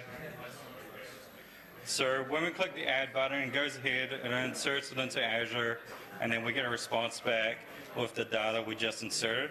And we can actually see that inside Azure if we um, go back to our uh, portal. Whoops. So we go back to our portal, and we go over to our easy tables wherever that may be, easy tables.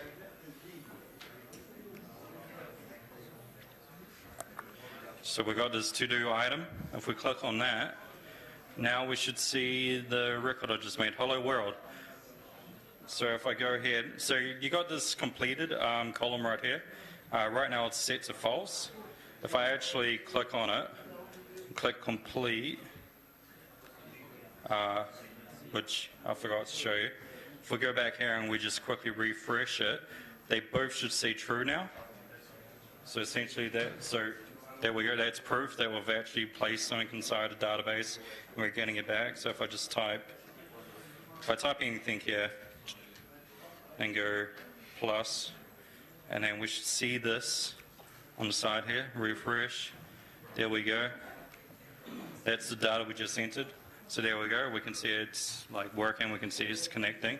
So if we want to actually, so say like if we want to be able to, um, like, so say if we actually deployed this and we got and we and developers can actually um, plug into our API, um, they would need to know like exactly what kind of calls that they have to make in order to access the data and all that. So there's this really nice tool called uh, Swagger which kind of allows you to, it does all that kind of documentation for you so you don't have to actually worry about it. So if we're going to go ahead, you, you don't have to follow along, but if you do want to follow along, then follow along. I'm just going to go over real quick because it is 4 o'clock right now. So if you just go edit scripts at the top here, what I will do is we'll open up Visual Studio Code, and this is where we can actually edit all our scripts for our backend. So if you want to, if you want to create like a API, and you want to be able to um, uh, do stuff with that API, you can actually just edit, like click edit scripts, and then this will open up. You can add your logic directly inside your browser. You don't need any additional code or any additional software to be able to do this, which is pretty nice. Um, it's all there. You got your console as well, um, so you can easily debug as you go, and it saves automatically and as soon as you, so if you edit anything, it saves it and it goes live straight away. You don't have to worry about anything. So uh, having, that's the benefit of having a Node.js backend for mobile services. So the first thing we want to do is we want to click this button over here, Open Console. And then I've already, I've already done it before, but essentially if you just enter this command, uh, npms install hyphen hyphen um, save Swagger UI. That's essentially all we have to do. Just click enter, and then it'll go ahead and it'll install it for us.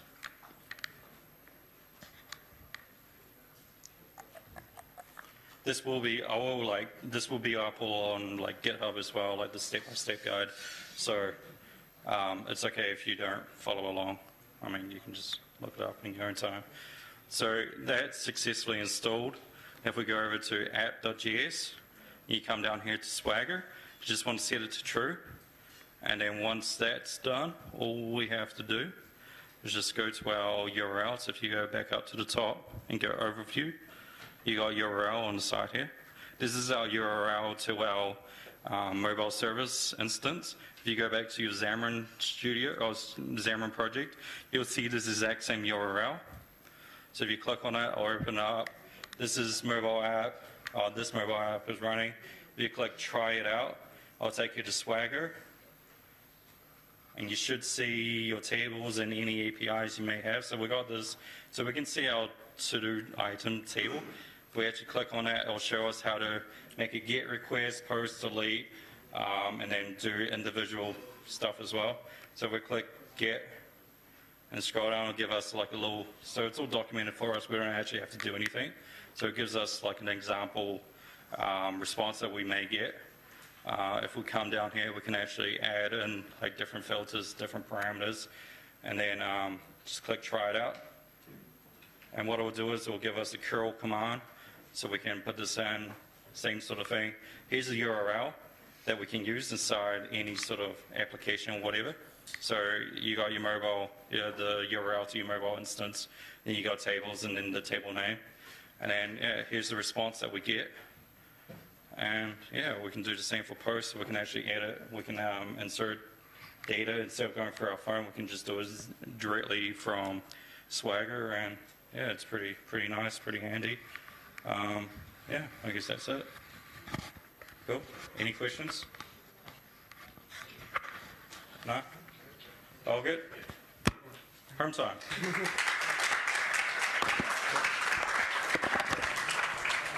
All right.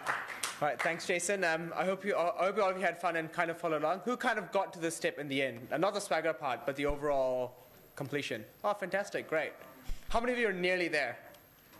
Most of you. Okay, cool. Um, so what I, what we will do is, um, we, as soon as we get the lecture recording from the university, and we will try and post it up. Um, hopefully this works.